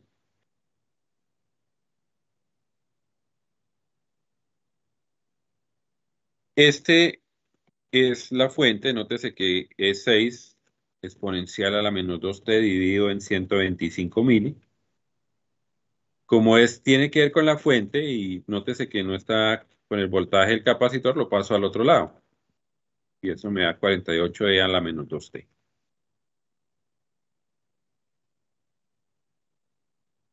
¿Listo? Permítame un momentico, me vuelvo acá para que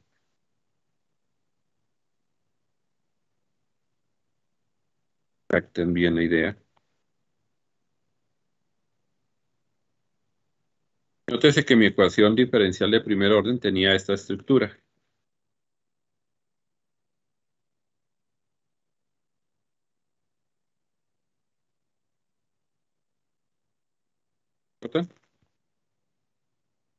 Entonces compárenla con lo que acabamos de obtener. Aquí me dice que la derivada de, la, de, de X, X recuerden es voltaje o corriente, en este caso es voltaje. Nótense que arriba también obtuvimos una derivada. Nótense que esa derivada de X está multiplicada por 1, por la unidad, no la colocamos. Aquí la derivada del voltaje, hicimos lo mismo, tenía una constante, dividimos sobre esa constante para que en efecto cumplieran con la condición. Y esa diferencial quedará multiplicada por 1.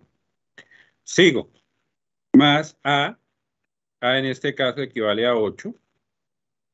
Esa A sería igual a 8. X de T. ¿Cierto? Este pedacito, pues, es el voltaje del capacitor. Esto que está acá. Lo mismo que vimos acá, ¿cierto? X de T, pues, es el voltaje del capacitor. Ahora, esta y que dijimos que era la función forzante, observe que tiene la forma de la exponencial. 48 exponencial a la menos 2t. ¿Listo? Que si vamos a la tabla, esa exponencial, déjenme un momentico ya. Esa exponencial tiene esta forma que está aquí, mire.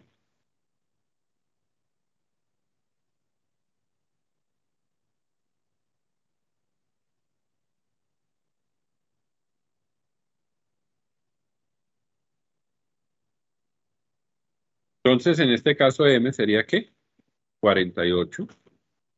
Y hacemos un, damos un vistazo y dice 48. M sería 48, es una constante. Y B, observen aquí B, pues sería ¿qué? 2. Así de sencillo.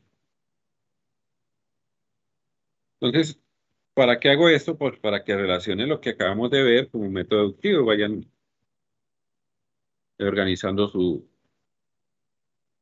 conocimiento. ¿Listo? Entonces, nótese que esto se relaciona.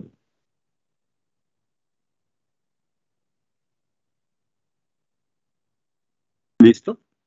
Ya vamos en el segundo, ya tenemos la, parte esencial del trabajo, que es que la ecuación diferencial de primer orden. Importante. Ahora vamos a trabajar con la respuesta natural y con la respuesta forzada para esta ecuación. ¿Vale? Creo que ya copiaron. ¿no?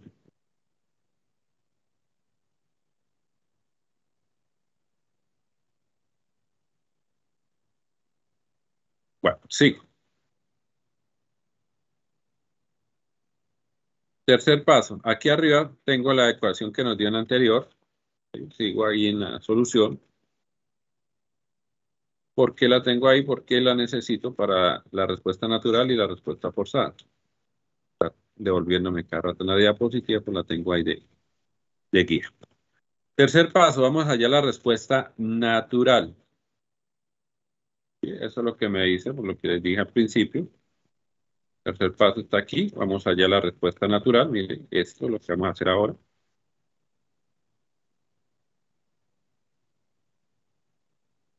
La respuesta natural, vamos a hacer que la ecuación diferencial sea igual a cero. Y con ello, pues vamos a obtener esto que está aquí, que es la ecuación 3. ¿Listo? Esto. Eso es lo que vamos a hacer ahora. Ahí está. Entonces voy a ya la respuesta natural.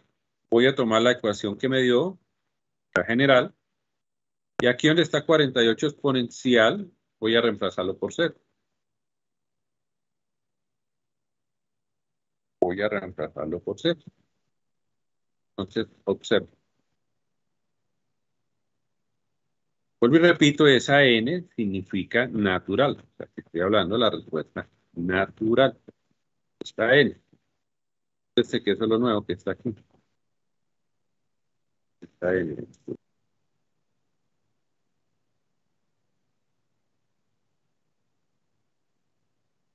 Y nótese que es igual a cero. Recuerden, esta es la ecuación homogénea. Vuelvo y repito, este 48, e a la menos 2t lo reemplazo por cero. Ecuación homogénea. Y ya, ahí le coloco la ecuación homogénea. Ya saben que es de primer orden. Con ello, vamos a colocar la respuesta natural.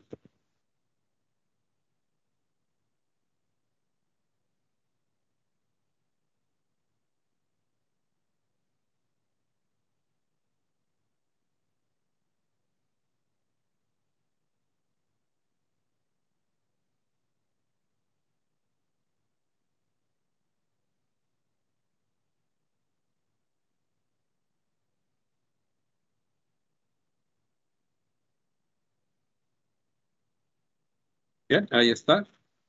Esta es la estructura general.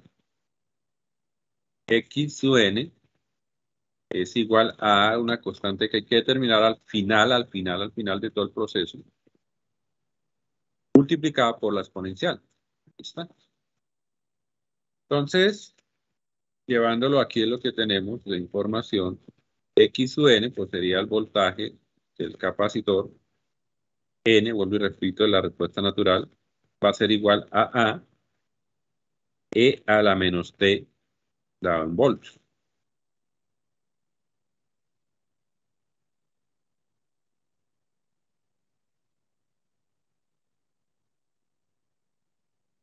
Ahí está.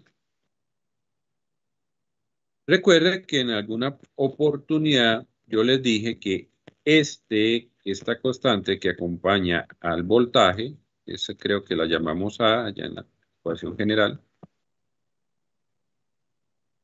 Y que esa era igual a 1 sobre tau. ¿Para qué necesitan tau? Por si necesitan graficar. Repito. ¿Sí? De aquí pueden eh, despejar tau. Tau sería igual a 1 sobre A. Recuerden esto. Y también les dije que ese 8 se debe reflejar aquí, en la exponencial. Ahí lo ve. Eso lo dije. Verifiquemos acá.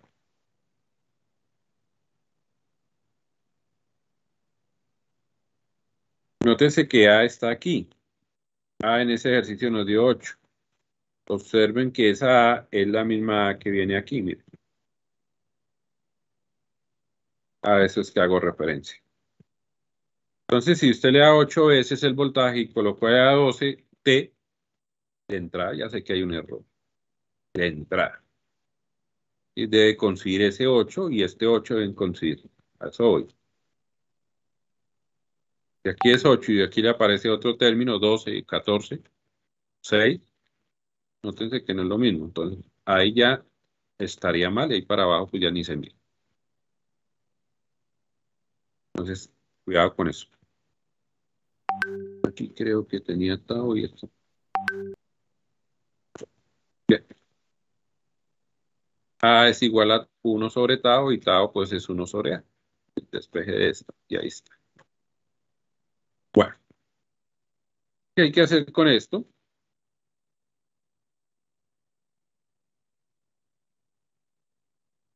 Encerrarla. En este caso le voy a dar fondo amarillo para indicar que esa es importante. ¿Por qué? Porque es que esta respuesta yo la necesito para cuando esté ya al final hallando la respuesta total. Hasta aquí llego con la respuesta natural, por el momento. Hasta ahí llego. Por el momento.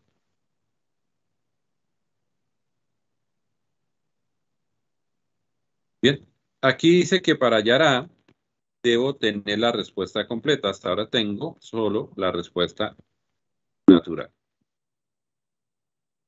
Entonces es importante, me falta la forzada. Después de que tenga la natural, le sume la forzada, en ese momento hallo A. Solo en ese momento. Antes no. Bien. Ya terminamos el tercer paso. Nótese que no es nada complejo. Muy sencillo siempre y cuando se haya obtenido la ecuación diferencial de primer orden. Y repito, se iguala a cero.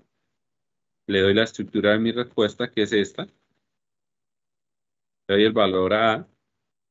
Y ahí está. Cuarto paso me dice que obtenga la respuesta forzada.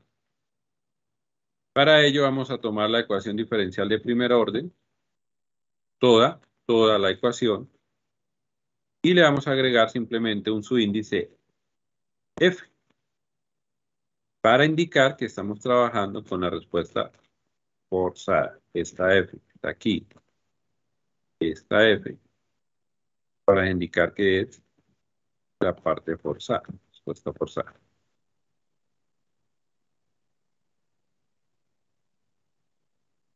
Si ustedes comparan esta ecuación que tenemos acá escrita con la general que está aquí arriba, nótese que es la misma ecuación, simplemente que le agregamos f, su índice f. El resto es lo mismo. La derivada del voltaje más 8 veces el voltaje igual a 48 multiplicado por la exponencial. Es lo mismo.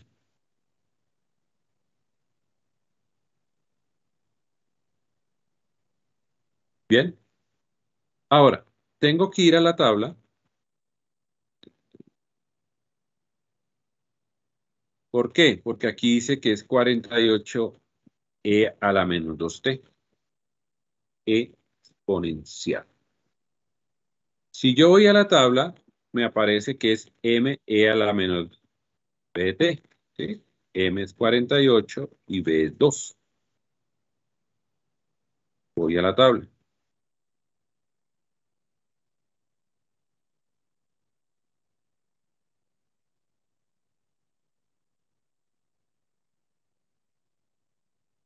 ¿Qué dice la tabla? Pues muy sencillo. Me dice que la función forzante y de t era una exponencial. Por eso coloqué m e a la menos bt para que lo relacionen. Aquí está, es una exponencial. ¿Qué espero como respuesta a esa exponencial? Pues esto que está aquí. Entonces, esto sería mi respuesta forzada. X, que puede ser voltaje o corriente, tiempo, va a ser igual a n, que hay que determinar, multiplicada por la exponencial. Vuelvo y le repito, esta parte de la exponencial, nótese que deben ser iguales. Iguales, ahí lo pueden observar. ¿Listo? Me vuelvo al circuito. Aquí arriba lo voy a colocar. Aquí está, no sé. El resumen de esa tabla, la parte que nos interesa. Aquí está.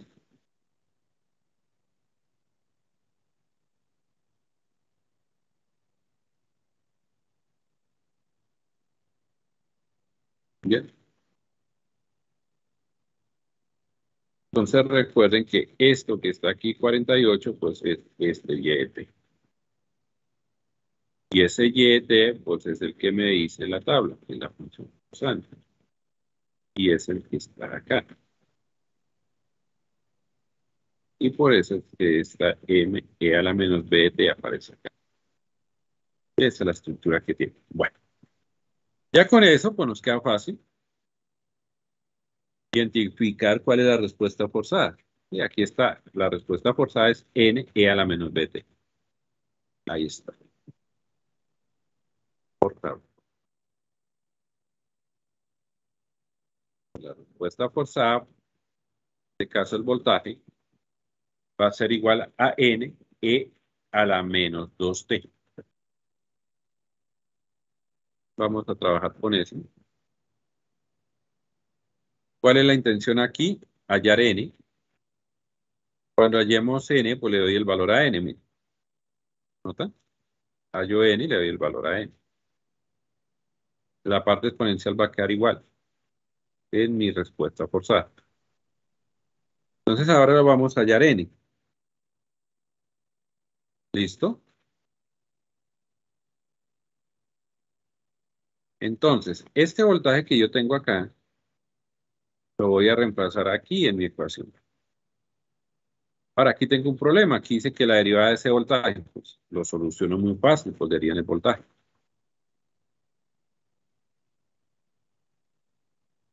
Ahí está. ¿Cuál voltaje? Pues el que está aquí. N, E a la menos 2T, hagamos la derivada, me quedaría menos 2N multiplicado por la exponencial.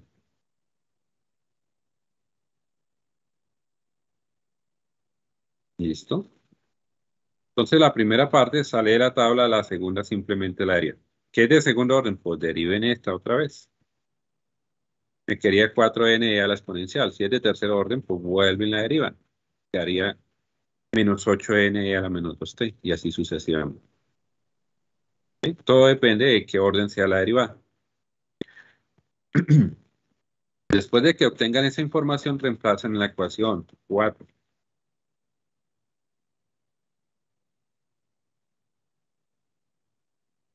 Y con ello, pues ya resuelven para obtener n. Entonces reemplazamos la derivada, me queda menos 2, n e a la menos 2t, más 8 que multiplica n, 8n e a la menos 2t. ¿Puedo sacar factor común? Sí, porque aquí n y exponenciales, ¿cierto? Están los dos términos, los puedo sacar como factor común. Me quedaría menos 2, y está menos 2, más 8 que está aquí, igual a qué? A 48 exponencial. Ahí está. Vuelvo y repito, reemplazan en la ecuación 4 el voltaje, la respuesta forzada y la derivada del voltaje de la respuesta forzada. Y ahí se dan cuenta que esta exponencial con esta se cancela, como dice en alguna oportunidad el profesor. ¿Y despejan quién? Aquí me daría 6 48 dividido en 6 pues me da 8. Este valor que está aquí es n, 8.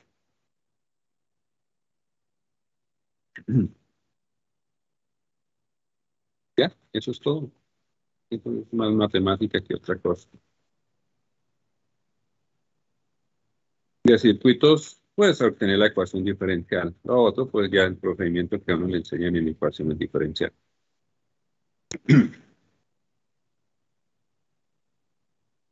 ¿Qué hacemos ahora? Vuelvo y repito, esa n se la devuelvo a mi ecuación. La ecuación 5 es la importante.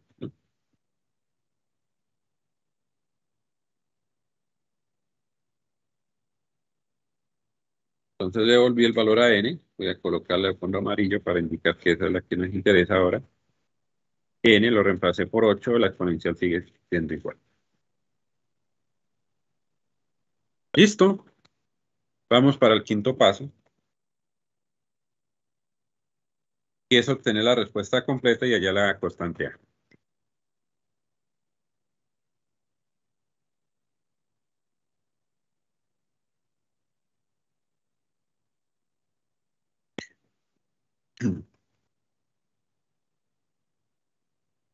Entonces sumen la respuesta natural y la respuesta forzada.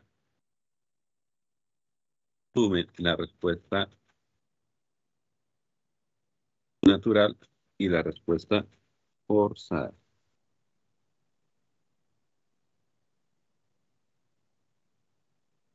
Las dos que tenemos ahí en amarillo, en fondo amarillo, son las que deben.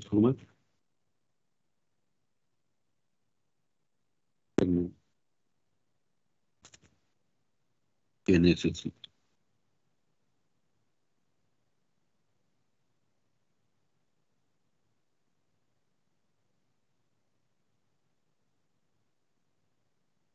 Bien.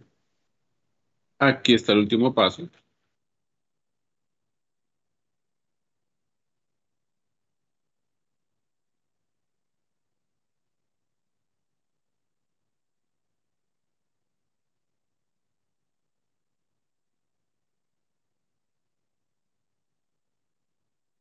Aquí está el último paso. Paso 5, respuesta completa, voy a sumar la natural y voy a sumar la forzada. ¿Sí? Ya lo obtuvimos en la diapositiva anterior. Natural, forzada. Traerla para que tengan claro.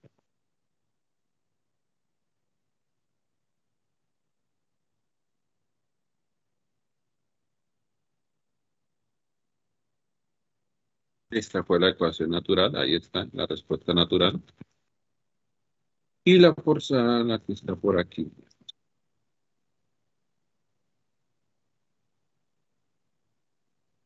Sí, viene todo eso. Entonces, respuesta natural, mírenla acá, voltaje en el capacitor, la respuesta natural es igual a quién? A A, E a la menos 8T, ahí está más el voltaje del capacitor en la respuesta forzada, que es igual a 8 exponencial a la de menos 2t. Ahí están las dos respuestas. ¿Vale? Entonces ya con esa información lo que hay que hacer es determinar qué es A. Ese es el objetivo aquí, el último paso. Determinar esta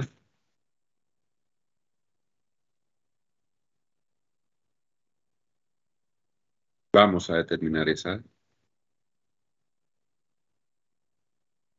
Para ello, pues vamos a aplicar condiciones iniciales. Como el interruptor conmutó en cero,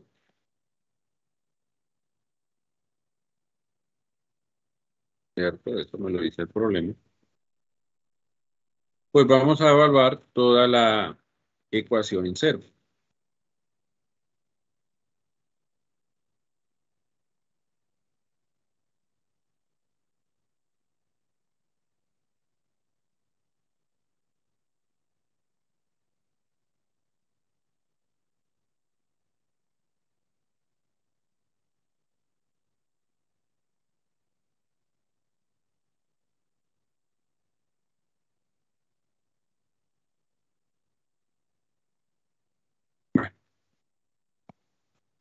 Entonces vamos a evaluar el tiempo en cero, ¿cierto?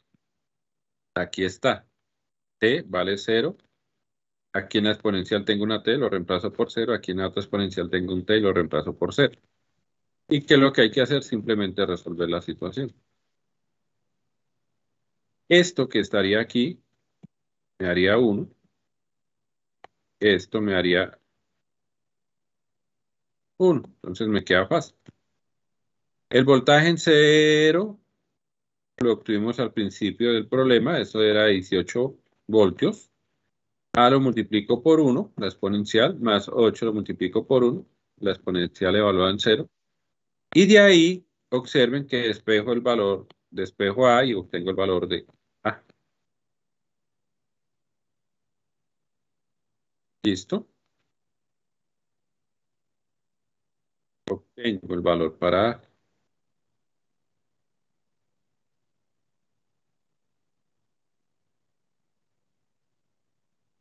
¿Cuánto nos da? Menos 26. ¿Listo? ¿Qué es lo que hay que hacer? Pues muy sencillo.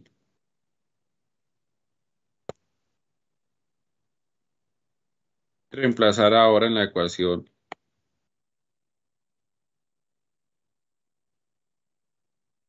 aquí donde está, esta es la incógnita de la ecuación que está aquí en la parte de arriba, nótese que es la misma, la reescribí. Entonces voy a reemplazar A. ¿Cuánto me da? Menos 26. Reemplazo A, menos 26. Lo otro pues queda tal cual como lo se obtuvo. A, menos 26. Y esta es la respuesta.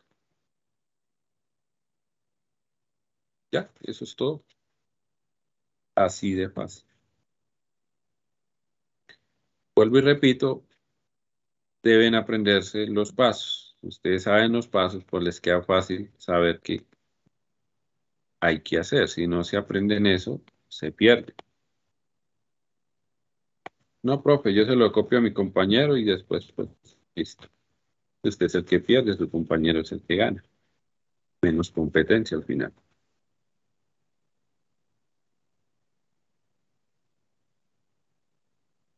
Vuelvo y repito, esto es base para las asignaturas que vienen de profundización. Si entendemos esto acá, pues nos queda fácil entenderlo allá y avanzar en los conceptos que nos van a enseñar. Profundización. Y si no, pues usted mismo se está engañando. ¿Qué me falta para terminar el problema? Ya la corriente. Ya tengo el voltaje. La corriente, pues tengo un circuito que está en serie. Note la corriente donde la están pidiendo. Tengo el voltaje. Pues aplico esta relación que ya la vimos en algún momento. La corriente va a ser igual a C multiplicada por la derivada del voltaje. Y ahí la pueden hallar.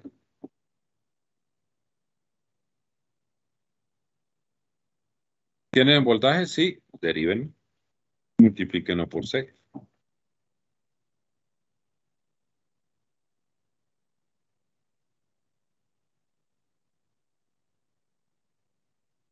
Otra forma de hallar esa corriente, pues haciendo la diferencia de potencial, el voltaje en la fuente menos el voltaje en el capacitor dividido en 5K.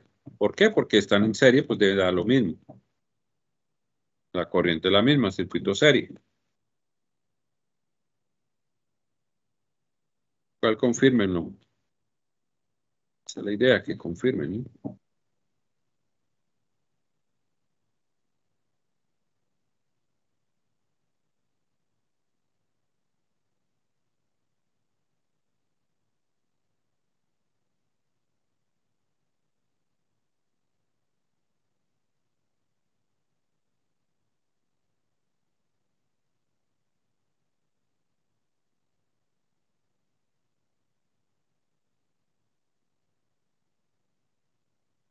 Vuelvo y repito, porque el circuito serie debe tener la misma corriente.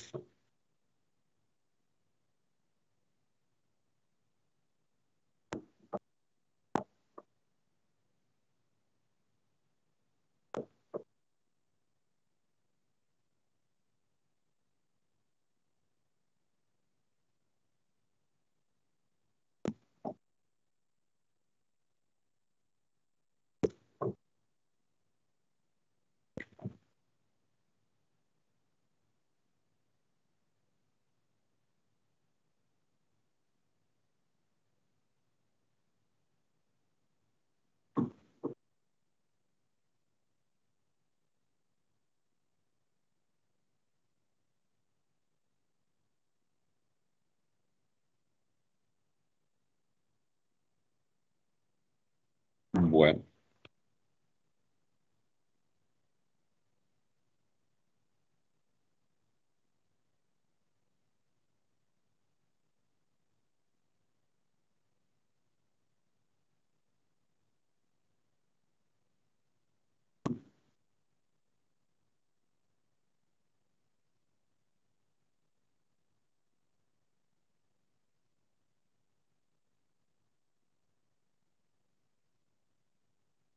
26 dividido en 5 casos a 5,2, que era menos 8t. Menos 2 dividido en 5 casos, su caso mide como mili. 0,4. ¿Sí? Y a la menos 2. Sí, está bien. Sí. Se aplican tanto esta como esta al final deben llegar a esta misma respuesta. Observe que la resistencia está en kilo. Ese kilo sube arriba como mili. Ahí está bien. Igual verifique. ¿Qué es lo que queda o qué les queda de tarea? Pues graficar.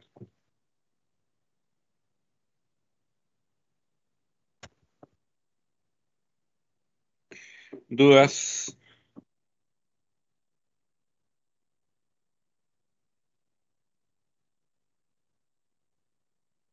¿Dudas?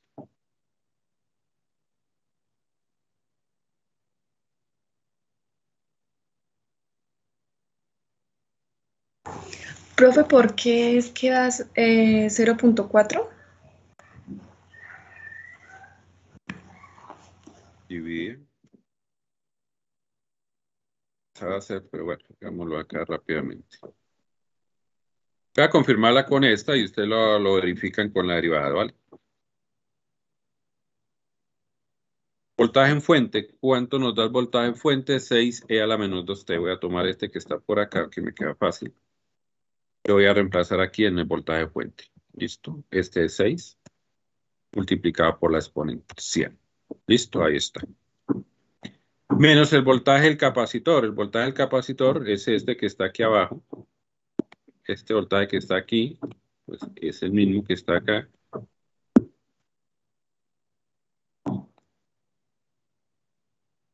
mismo voltaje que está en el capacitor, que es el que me pide el problema, entonces voy a copiar esto que está aquí. Aquí me dice que es menos, entonces voy a colocar un paréntesis. Y aquí voy a colocar el voltaje. Ya calculé, hasta el momento. Ahí está. Y aquí abajo me dice que es 5 veces K. Ese es el valor de resistencia.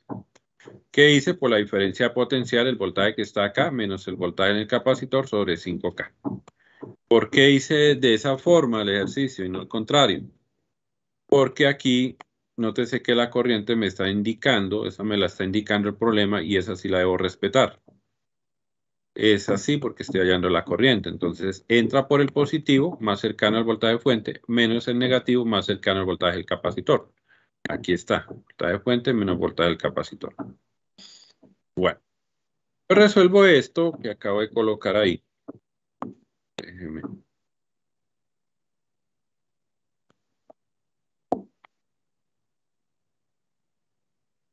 Está. Menos con menos daría más, más con menos daría menos, ¿cierto? Entonces este sería negativo y este se convertiría en positivo.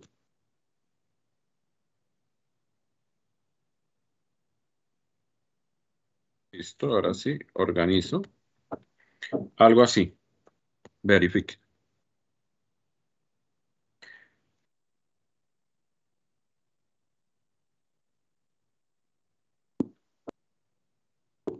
¿Listo? Entonces aquí vemos ahora lo siguiente, que es lo que tienen que prestarle atención. Aquí dice exponencial a la menos 2t y por aquí tengo exponencial a la menos 2t. Quiere decir que yo puedo agrupar esos dos. No sé si se dieron cuenta de ese detalle. Exponencial hay que prestarle atención a todos esos detallitos. Entonces, eh, menos, a quitar este. Aquí tengo 6 menos 8, pues me daría menos 2. Ok. Aquí es menos 2. Listo. Operé, ¿no? 6 menos 8. Listo. 26 dividido en 5. Eso da 5,2. 2 menos 2 dividido en 5, eso da menos 0,4. Y este K sube arriba como mili. ¿sí? Lo que hicimos en circuitos 1 en la parte de potencia base 10. Ya sabemos eso.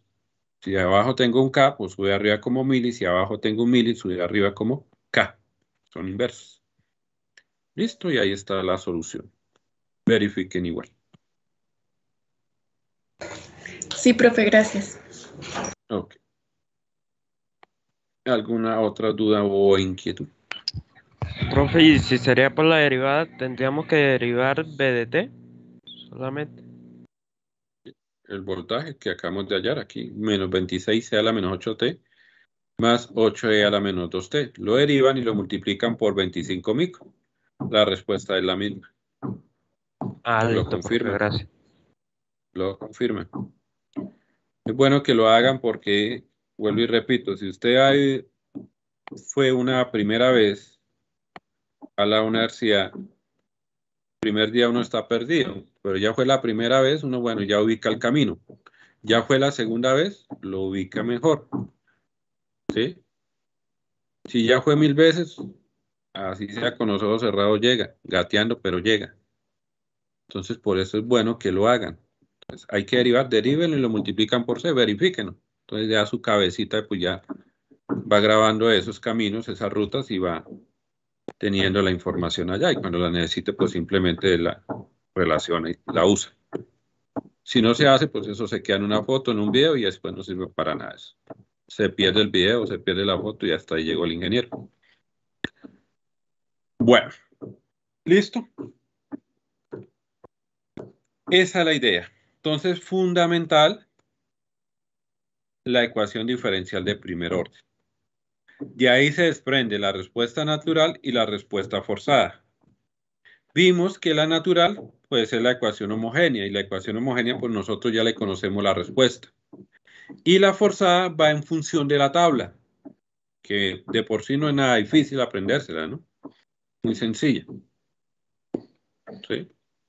Entonces, importante. Más adelante, cuando estemos hablando de fasores, nótese que el seno y el coseno tienen una frecuencia, W, frecuencia angular. Entonces, cuando estemos hablando de alterna, ¿cierto? Cuando estemos hablando de alterna, pues va a aparecer la señal seno, va a aparecer la señal coseno. Eso está claro. Entonces, cuando estemos hablando allá, pues ya tenemos una primera idea, pues allá nos va a quedar más fácil relacionar las cosas. Bien. ¿Qué más hay por acá? Este otro ejercicio.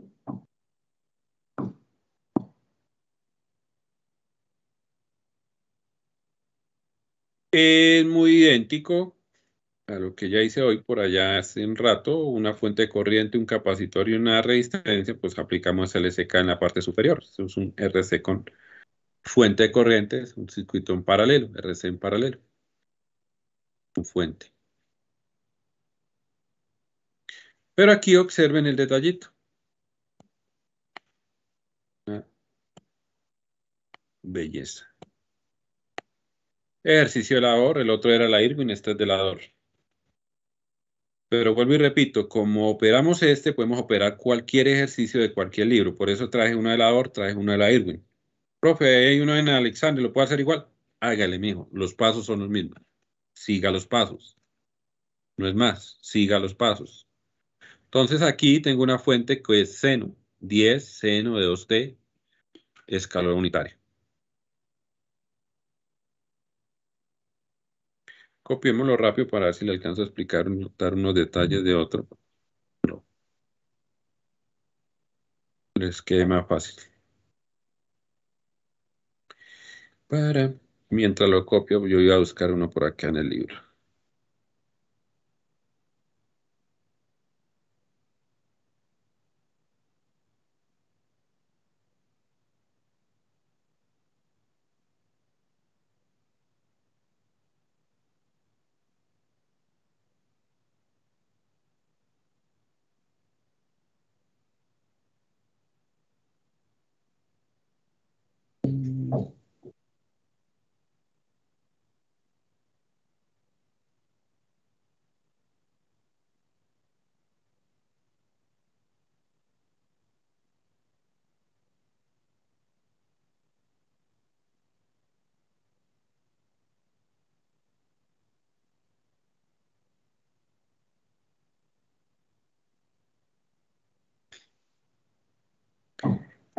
Bien, entonces ahora qué hay que hacer, pues haya la ecuación diferencial de primer orden.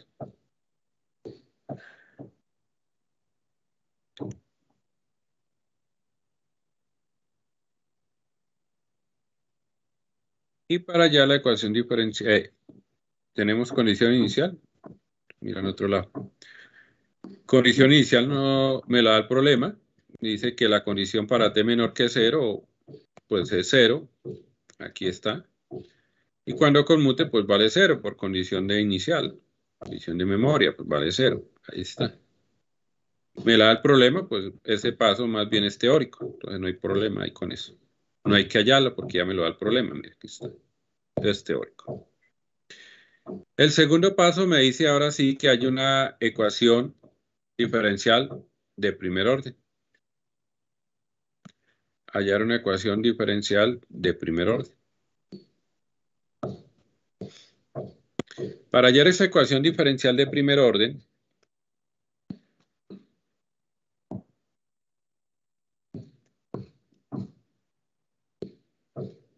voy al circuito para t mayor que cero. Entonces, nótese que es el que me está dando el problema. Como es un capacitor, ya les dije que en un capacitor nosotros usamos la LSK. ¿Sí? ¿Para qué? Para que nos quede una ecuación en términos del voltaje. ¿Qué necesito en el capacitor? El voltaje. Eh, LSK. Aplico una LSK. ¿En dónde? Pues en la parte superior, en el nodo superior. Digamos que el nodo inferior es tierra. No de referencia. Vamos a conectar aquí la tierra, la referencia. Y aplico en la parte superior, en este punto, el nodo A, la LSK.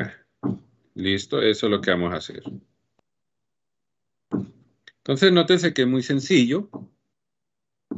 No es, tiene nada de misterio. Vamos a aplicar el LSK. Entonces, la corriente en la en el capacitor sale, la corriente en la resistencia sale y la corriente de la fuente entra. Entonces, Aquí están asignadas las dos corrientes, la del capacitor y la de la resistencia.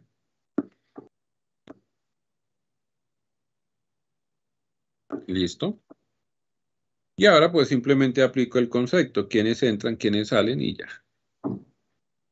Corrientes que salen van a ser igual a las que entran. Entonces está saliendo la del capacitor y la la resistencia va a ser igual a la, la fuente. Entonces, nótese que se hace fácil. La corriente de que sale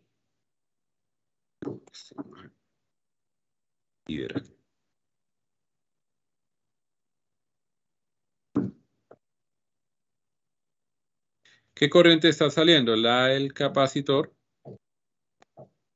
Aquí está.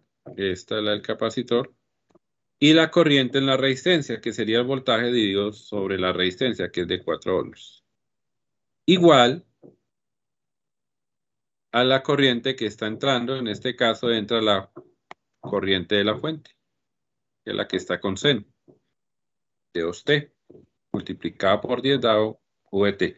Ahí significa que tenemos un T menor que 0 y un T mayor que 0 y t mayor que 0 vale 1. 1 multiplicado por 10 seno de 2t, pues sería 10 seno de 2t amperios. Y antes, pues valdría 0. 0 multiplicado por eso, pues me da 0.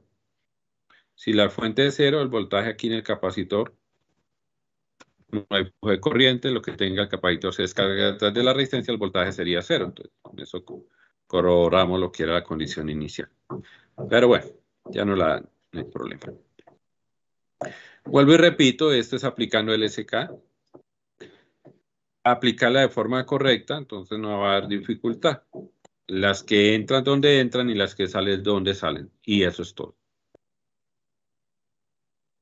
Tener siempre claro dónde va al igual. Ese es el error que a veces se comete. ¿Listo? De ahí para allá, pues a organizar. El capacitor, un medio.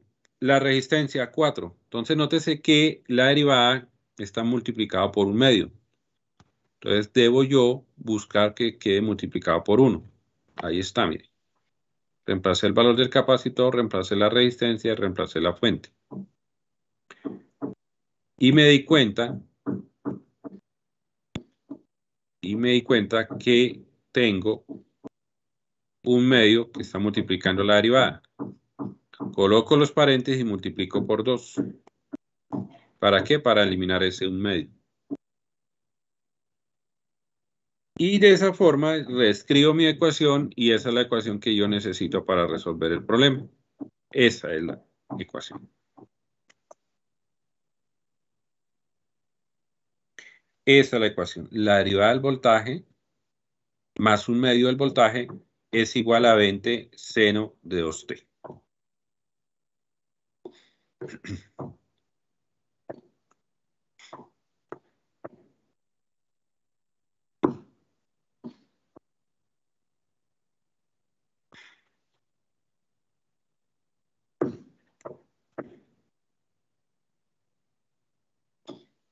Bien. A ello le vamos a llamar ecuación 1. Esa es importante.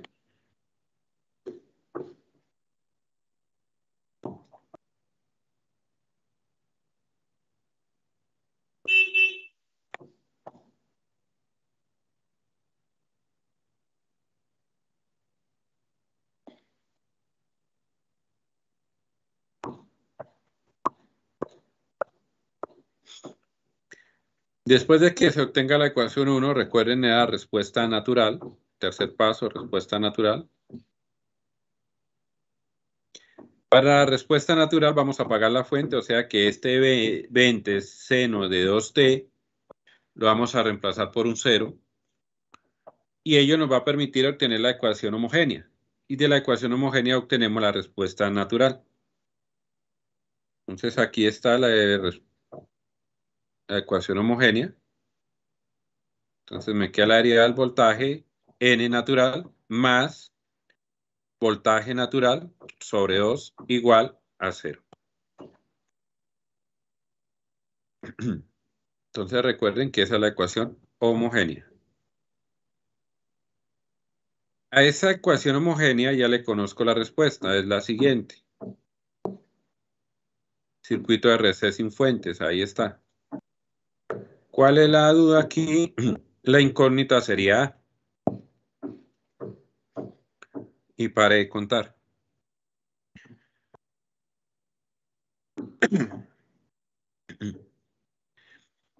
¿Qué sucede acá?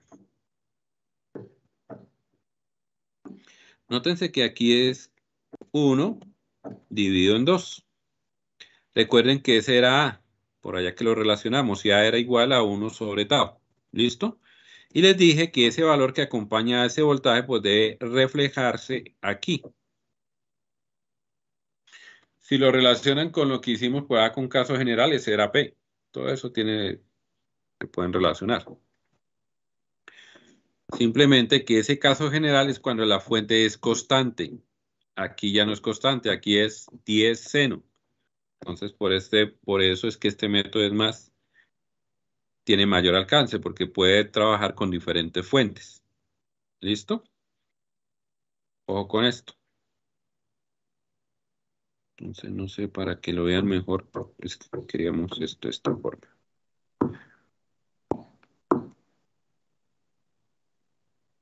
Para que lo vean más fácil de interpretar.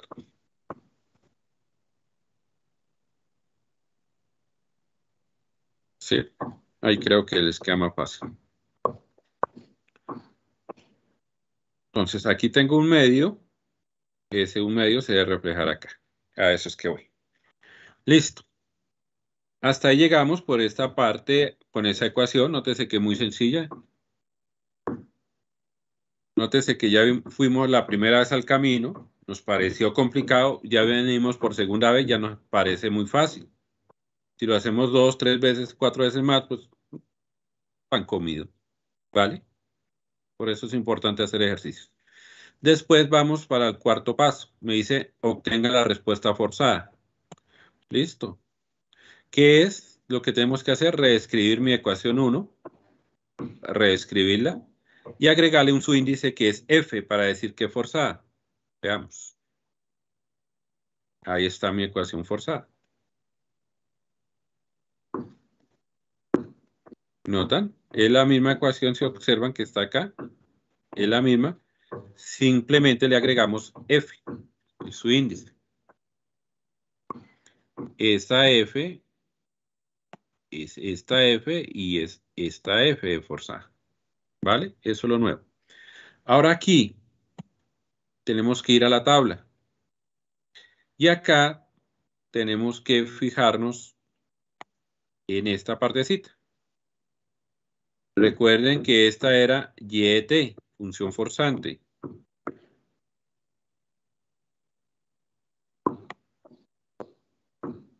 Nótese que es un seno.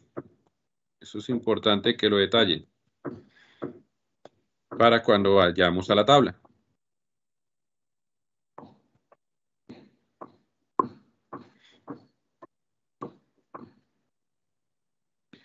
Sí, si nos devolvemos a la tabla, vamos un momentico a la tabla, dice que yo debo asumir esta respuesta, que X en F, mi respuesta forzada, es A seno omega T más B coseno omega T. ¿Listo? Eso es lo que me dice la tabla. Entonces aquí ya la he colocado, para que lo visualicen. Voy a darle este color porque es la que necesito operar ahora. BF es igual a seno omega t más B coseno omega t. Pero de aquí ustedes observan que ese omega, ese famoso omega, pues sería 2. Aquí va el 2, aquí va el 2 y aquí va el 2. ¿Por qué? Porque es omega. Omega es igual a 2 radianes dividido en segundos. 2 radianes segundos. Ahí está. ¿Listo? Ese es importante. Ahí está. ¿Y eso quién me lo da? Pues eso me lo está dando la fuente. Aquí dice 2, ¿nota? Eso me lo da la fuente. Ahí está para que lo vean de dónde viene. Si ahí hubiera sido 4, pues sería 4 radianes sobre segundo, y aquí sería seno de 4, seno de 4, coseno de 4. Y así sucesivamente. Ahora, ¿qué me interesa hallar acá? Es la pregunta. Ya tengo la, la respuesta forzada, que eso lo saco por tabla. ¿Qué tengo que hallar? A y B. Esas dos constantes son las que tengo que determinar. Después de que las encuentre o las halle, las devuelvo acá. Me quedaría el valor multiplicado por seno 2t más b, el valor de b, coseno 2t. ¿Vale? Entonces la idea es hallar a y hallar b. Ese es el paso que sigue. ¿Listo? Ahora, para hallar a y b, debemos reemplazar este voltaje en la ecuación que está aquí ese voltaje lo voy a reemplazar acá. Pero ahora tengo un problema. Aquí hice la derivada de ese voltaje. Resuelto el problema. Derivamos. ¿Quién? Pues el voltaje forzado. Ahí está la derivada. Derivamos esta ecuación. La derivada del seno de 2t, pues me quedaría 2 coseno de 2t multiplicado por a. Ahí está bien. Vamos a derivar esta otra parte. Dice b coseno de 2t. La derivada de eso me da menos 2 Seno de 2t multiplicado por b. Ahí está. ¿Qué voy a hacer con estas dos? La voy a reemplazar en 4. Acá.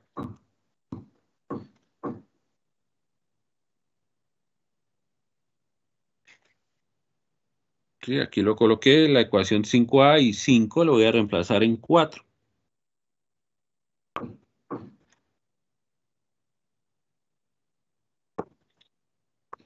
Algo así me va a dar.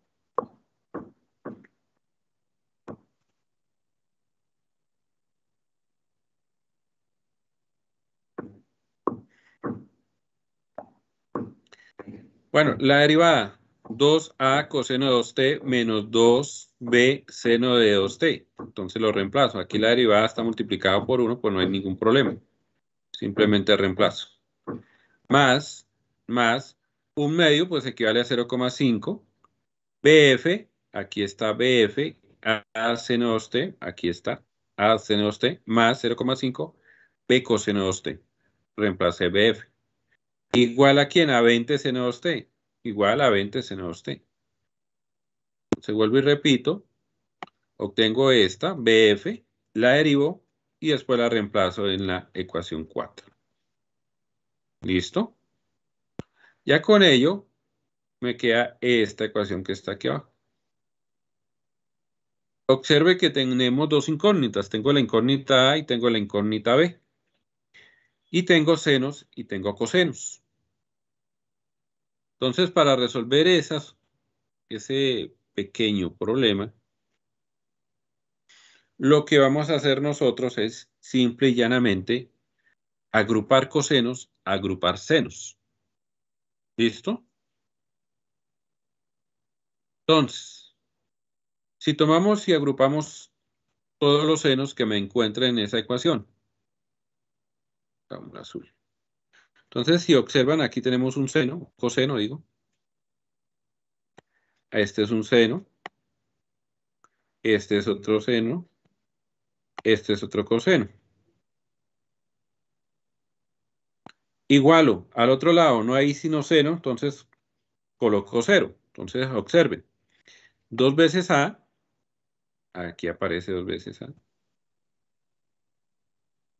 Más 0,5B. Aquí está 0,5B. Más 0,5B. Multiplicado por el coseno de 2t, lo saco como factor común y lo igualé a 0. ¿Por qué igual a 0? Porque al otro lado no hay coseno. Como no hay coseno, pues igualo a 0, más 0. Este 0, no hay cosenos, es que estoy colocando yo acá, mire. ¿Listo? Bueno, esto es para que tengan una idea de lo que pasó ahí. Bien. Ahora, vamos a hacer lo mismo, pero con senos. Vamos a hacer lo mismo, pero con senos.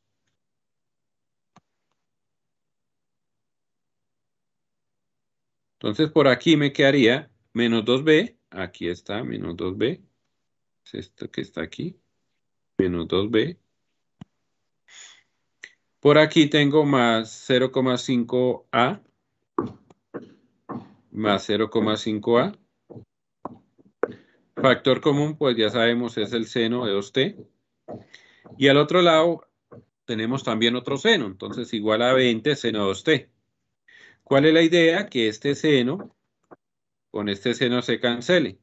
Está multiplicando, pasa a dividir seno de 2t sobre seno de 2t, vale 1. Profe, pero aquí arriba me quedó coseno de 2t, pues páselo a dividir. 0 dividido en coseno, pues me daría 0. ¿Qué pasa? Tengo dos ecuaciones. Resuelvo ese par de ecuaciones.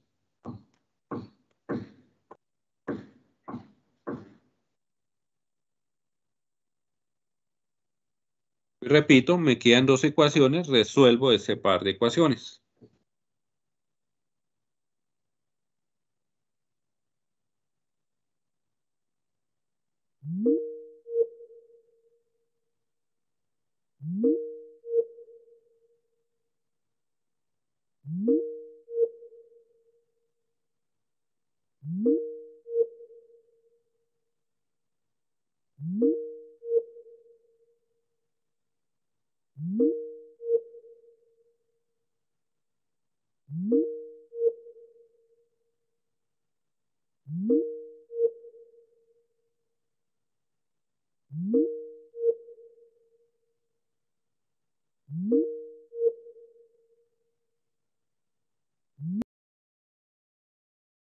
Porque hay que saber trabajar con la tabla.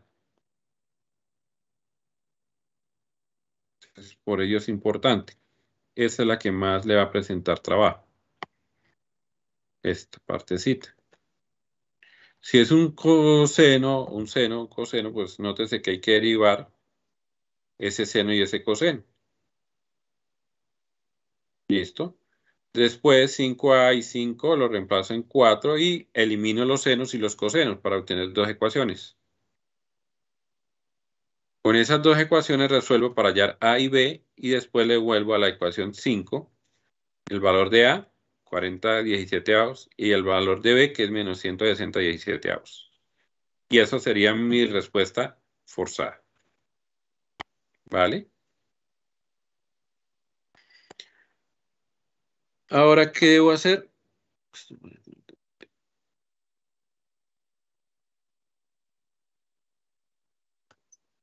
La respuesta completa me falta. Ya tengo la natural, que sería la ecuación 3 que está por acá, mire esta. Y obtuve la respuesta forzada. ¿Sí? Que es la ecuación 5, ya resuelta. ¿Qué voy a hacer con esas dos? Sumarlas para obtener la respuesta total y después la condición inicial. Sigo acá. Esto ya lo obtuvimos. Aquí tengo simplemente un resumen de lo que ya hicimos la pasada. no hay que volver a copiar porque ya lo tenemos hecho. Esto ya lo hicimos. Esta es la que me interesa y esta es la que me interesa. Esas ecuaciones ya las, de, las obtuvimos en la diapositiva anterior. Entonces, partiendo de ahí, vamos allá a la respuesta completa, que sería el último paso, el quinto, si mal no recuerdo. Es 4. El quinto paso.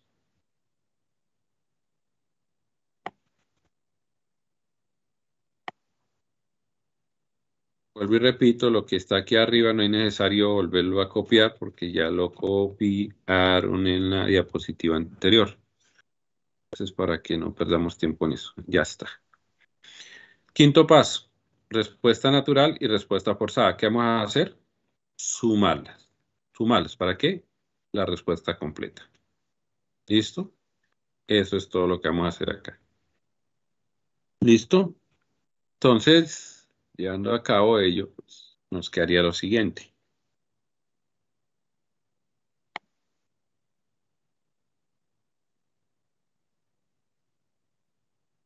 Verifiquemos si es cierto o no.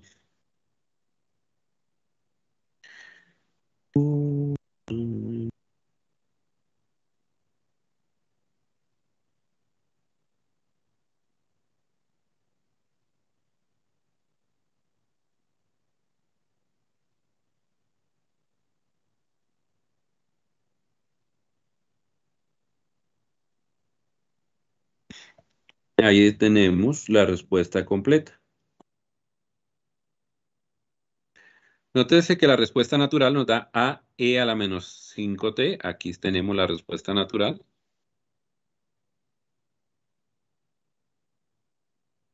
Sí. Y es la que está acá, mire. La misma. Y por la otra parte tenemos la respuesta forzada, 40 a 17 avos seno t menos 160 17 avos coseno t. Ahí está. Entonces, si observan aquí el detalle, lo único que nos falta por resolver es el valor de la constante A. Eso es lo único que nos queda por hacer. Bien. Esta que está aquí es lo que nos falta por resolver. Entonces, para resolver esa A, vamos a utilizar, vamos a evaluar esa ecuación en el tiempo que conmuta. Conmutó, cambió en cero, eso me lo dice el título. El enunciado del problema. Es tiempo igual a cero. Entonces, ¿qué vamos a hacer con ello? Pues simple y llanamente evaluar en cero.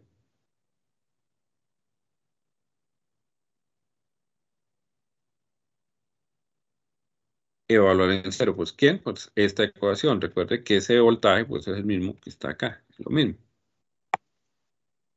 Simplemente que los libros a veces no colocan ese voltaje referenciado en el tiempo por simplemente por ahorrar tinta.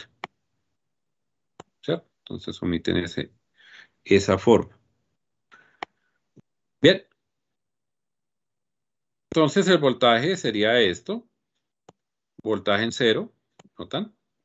reemplazo el tiempo en cero. Según el problema, la condición inicial del problema era que el voltaje antes de conmutar era cero. Vean el enunciado inicial del problema. Aquí está, ¿no? Nótenlo acá. Aquí me dice que el voltaje en condición inicial era cero. Pongámoslo acá para tenerlo presente.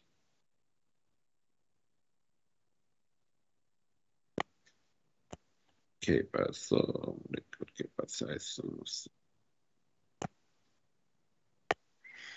Sí, aquí el voltaje es igual a cero. Ok, el voltaje igual a cero. Eso va a ser igual a A elevado a menos 0,5 multiplicado por T. T vale 0. 0,5 por 0, pues vale 0. E a la 0.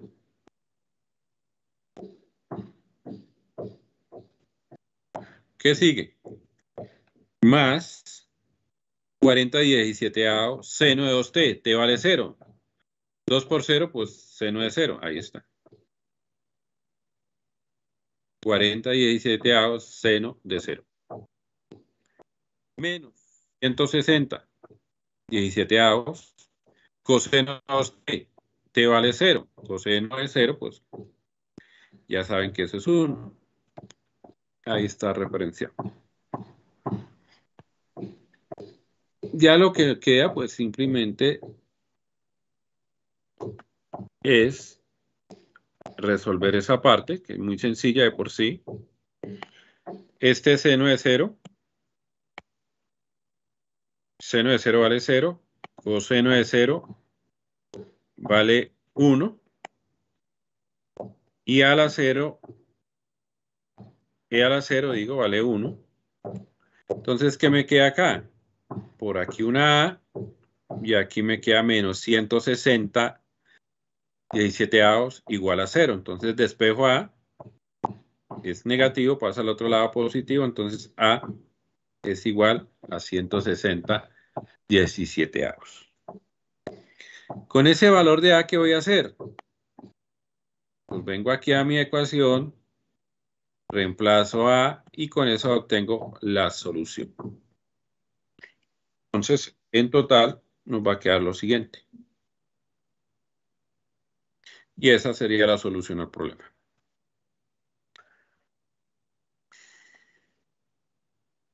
Bien, entonces reemplacé A por 160. Ahí está. Y lo otro, pues queda tal cual como estaba ya especificado. Aquí al final, observe, le coloqué un escalón y le coloqué la unidad.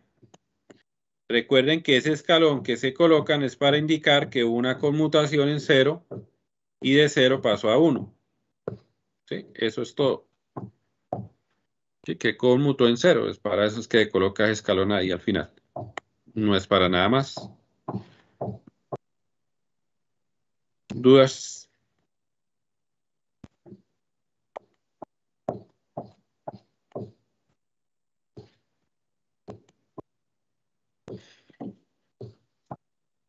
Dudas.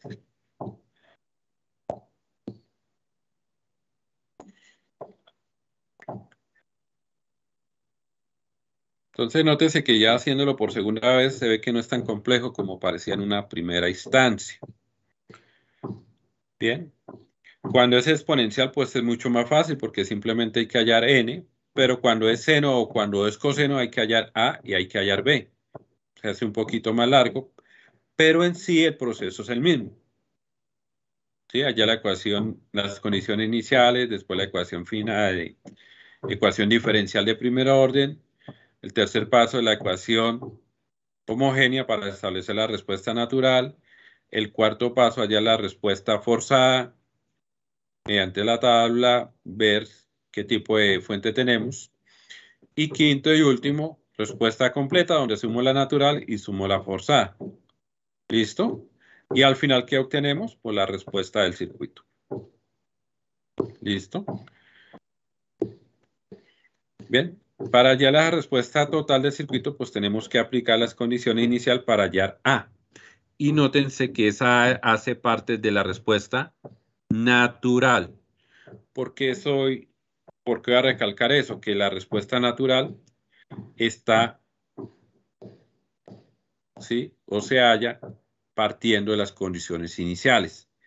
Cuando estemos hablando de fasores, nosotros vamos a obtener solo la respuesta forzada, para lo cual no vamos a necesitar en ningún momento las condiciones iniciales. Con fasores no necesitamos condiciones iniciales. Pero en la PLAS, en la PLAS sí necesitamos condiciones iniciales. ¿Por qué? Porque vamos a ver unos modelos, necesitan condiciones iniciales, ¿sí? Y porque con la nosotros vamos a volver a tener la respuesta completa, o sea, la natural, como está aquí, y la forzada. Entonces, cuando estemos en fasores, solo la forzada. Cuando estemos en la natural y forzada. Y para la natural necesito las condiciones iniciales.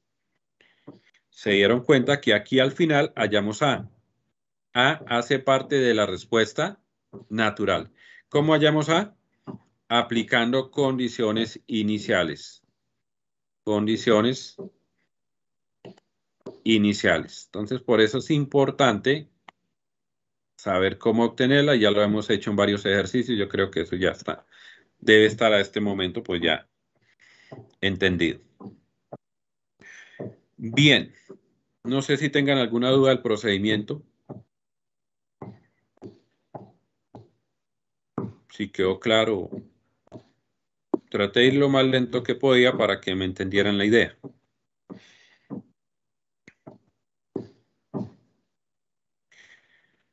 Bien, este mismo procedimiento, como lo alenté al principio, lo vamos a volver a utilizar en circuitos de segundo orden, o sea, la otra semana. La única diferencia a lo que acabamos de hacer ahora es que aparecer una ecuación diferencial de segundo orden. Y en las ecuaciones diferenciales de segundo orden hay que hallar primero que todo la respuesta natural. O sea, una ecuación homogénea de segundo orden. Y de allí tenemos que definir si es sobreamortiguado, si es críticamente amortiguado, si es subamortiguado. Entonces voy a aprovechar el tiempo que me queda. Sí, vamos a ver un momentico el libro. Voy a descargar asistencia. Vamos a ver el libro un momentico. Profe, una pregunta respecto al taller. ¿Será que no hay una posibilidad de que se pueda ampliar un poco el plazo? ¿Y eso qué pasó? Ah, habla que- o sea, el plazo de entrega. ¿Será que no se puede ampliar un poquito más? Ya miramos. ¿En qué van o qué?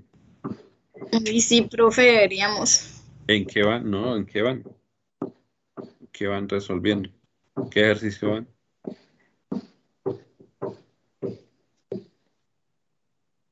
¿En qué ejercicio van? ¿O no han empezado? Ese es el problemita. Profe, yo Ya, apenas mira, voy en el, ¿En el quinto? en el cuarto. Cuarto. Yo he hecho dos. Gachos, yo no he Yo hecho tres, ningún. Bueno, ahorita miramos. Bien, voy a compartirles acá un PDF, el libro. Me confirma si estamos viendo el libro.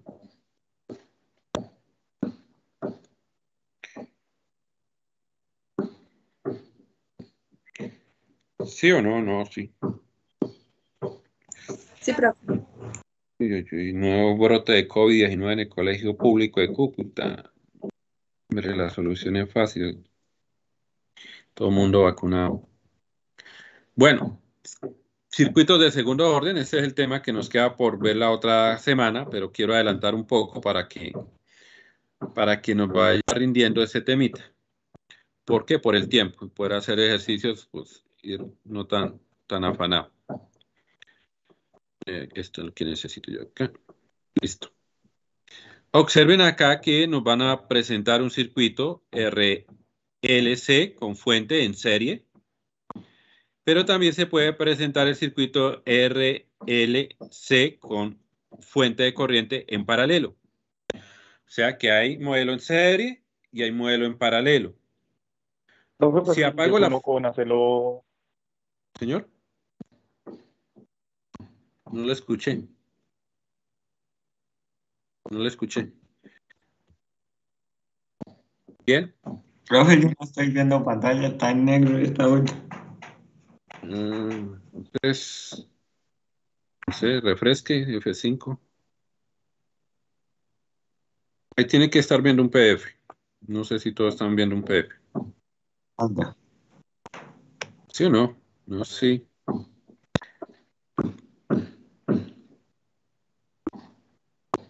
Bueno, si no, pues busquen la página, venga, les digo la página del libro, 314 del libro de Alexander y me siguen. Ya a esta altura deben tener el libro, ¿no? Porque del libro es que tienen que sacar el trabajo. Pongan Google el nombre del libro y le ponen PDF y ahí les sale. Eso es lo que más hay ahí. Por eso estamos trabajando con esa edición, porque la encuentran fácil. Bien. Ahora, nótese que va a haber modelo serie y modelo paralelo. A ese modelo serie nosotros le tenemos que hallar la respuesta natural, o sea que vamos a tener que hallar una ecuación homogénea de segundo orden. Y después vamos a tener que hallar la respuesta forzada. Esa respuesta forzada depende del tipo de fuente, si es constante, si es exponencial, o si esa fuente, si esa fuente es coseno o seno, ¿sí? Lo que vimos hoy en clase. La respuesta forzada depende de la fuente. ¿Listo? La, la respuesta natural depende de las condiciones iniciales. Esa es la idea. ¿Qué otro tipo de problema nos podemos encontrar? Uy, ¿dónde me fui? Nos podemos encontrar circuitos RC y RL sin fuentes. eh, RC y RL de segundo orden. Esto es primer orden.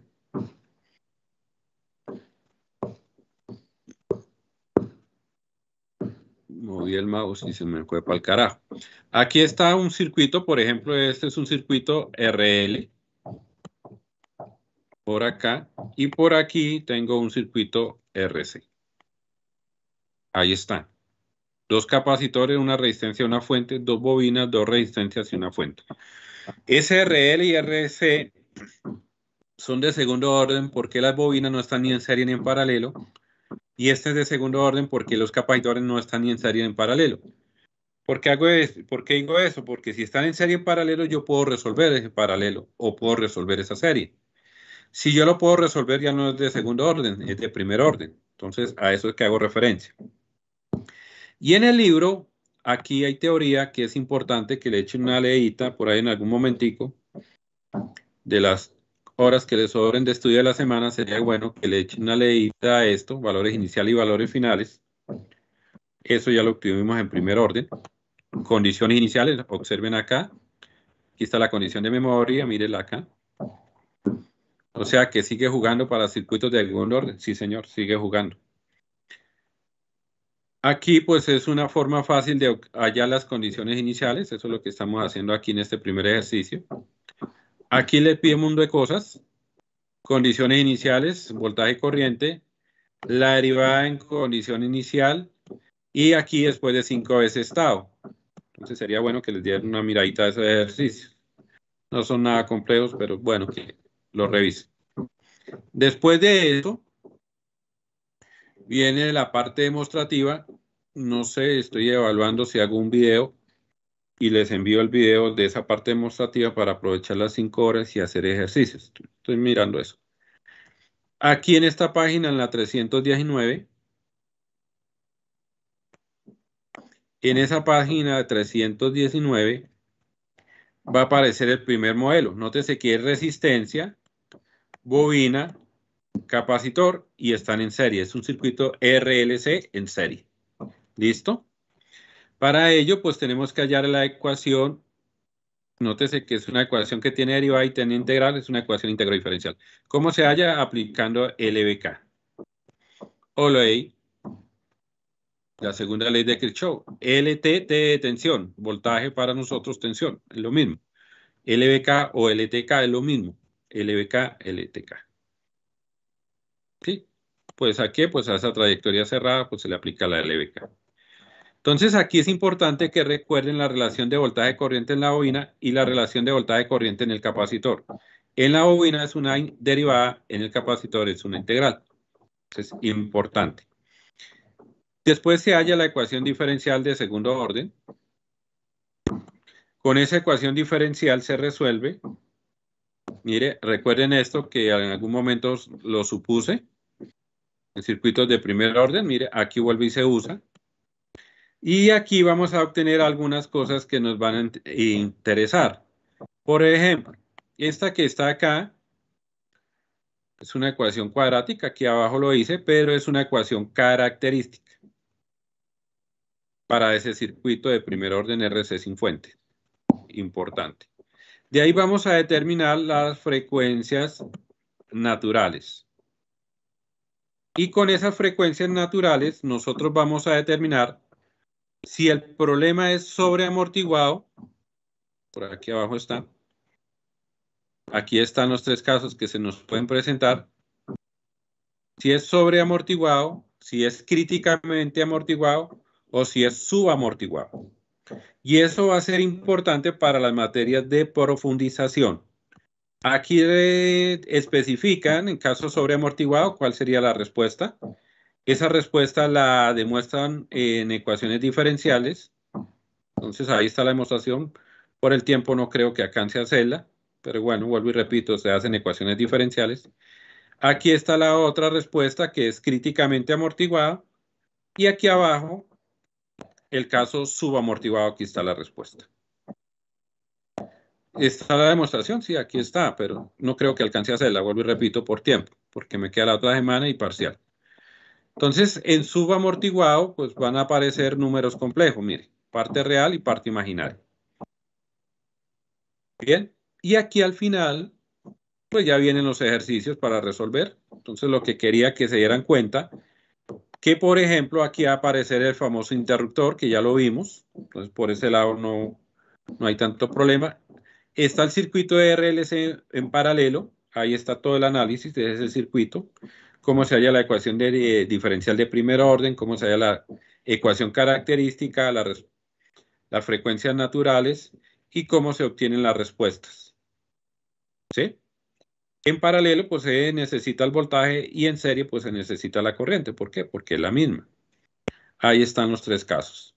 Después vienen más ejercicios y ya con esto les quiero mostrar aquí un poquitico y ya. Vienen las respuestas, este tiene interruptor. Y por acá les quiero mostrar que hay circuitos que tienen escala unitario, eso es lo que quiero que... Y ya con eso cerramos por hoy. Por aquí había uno. Mire, este tiene escala unitario. Entonces, ¿qué quiere decir? Que lo que me queda por explicar, pues es muy sencillo.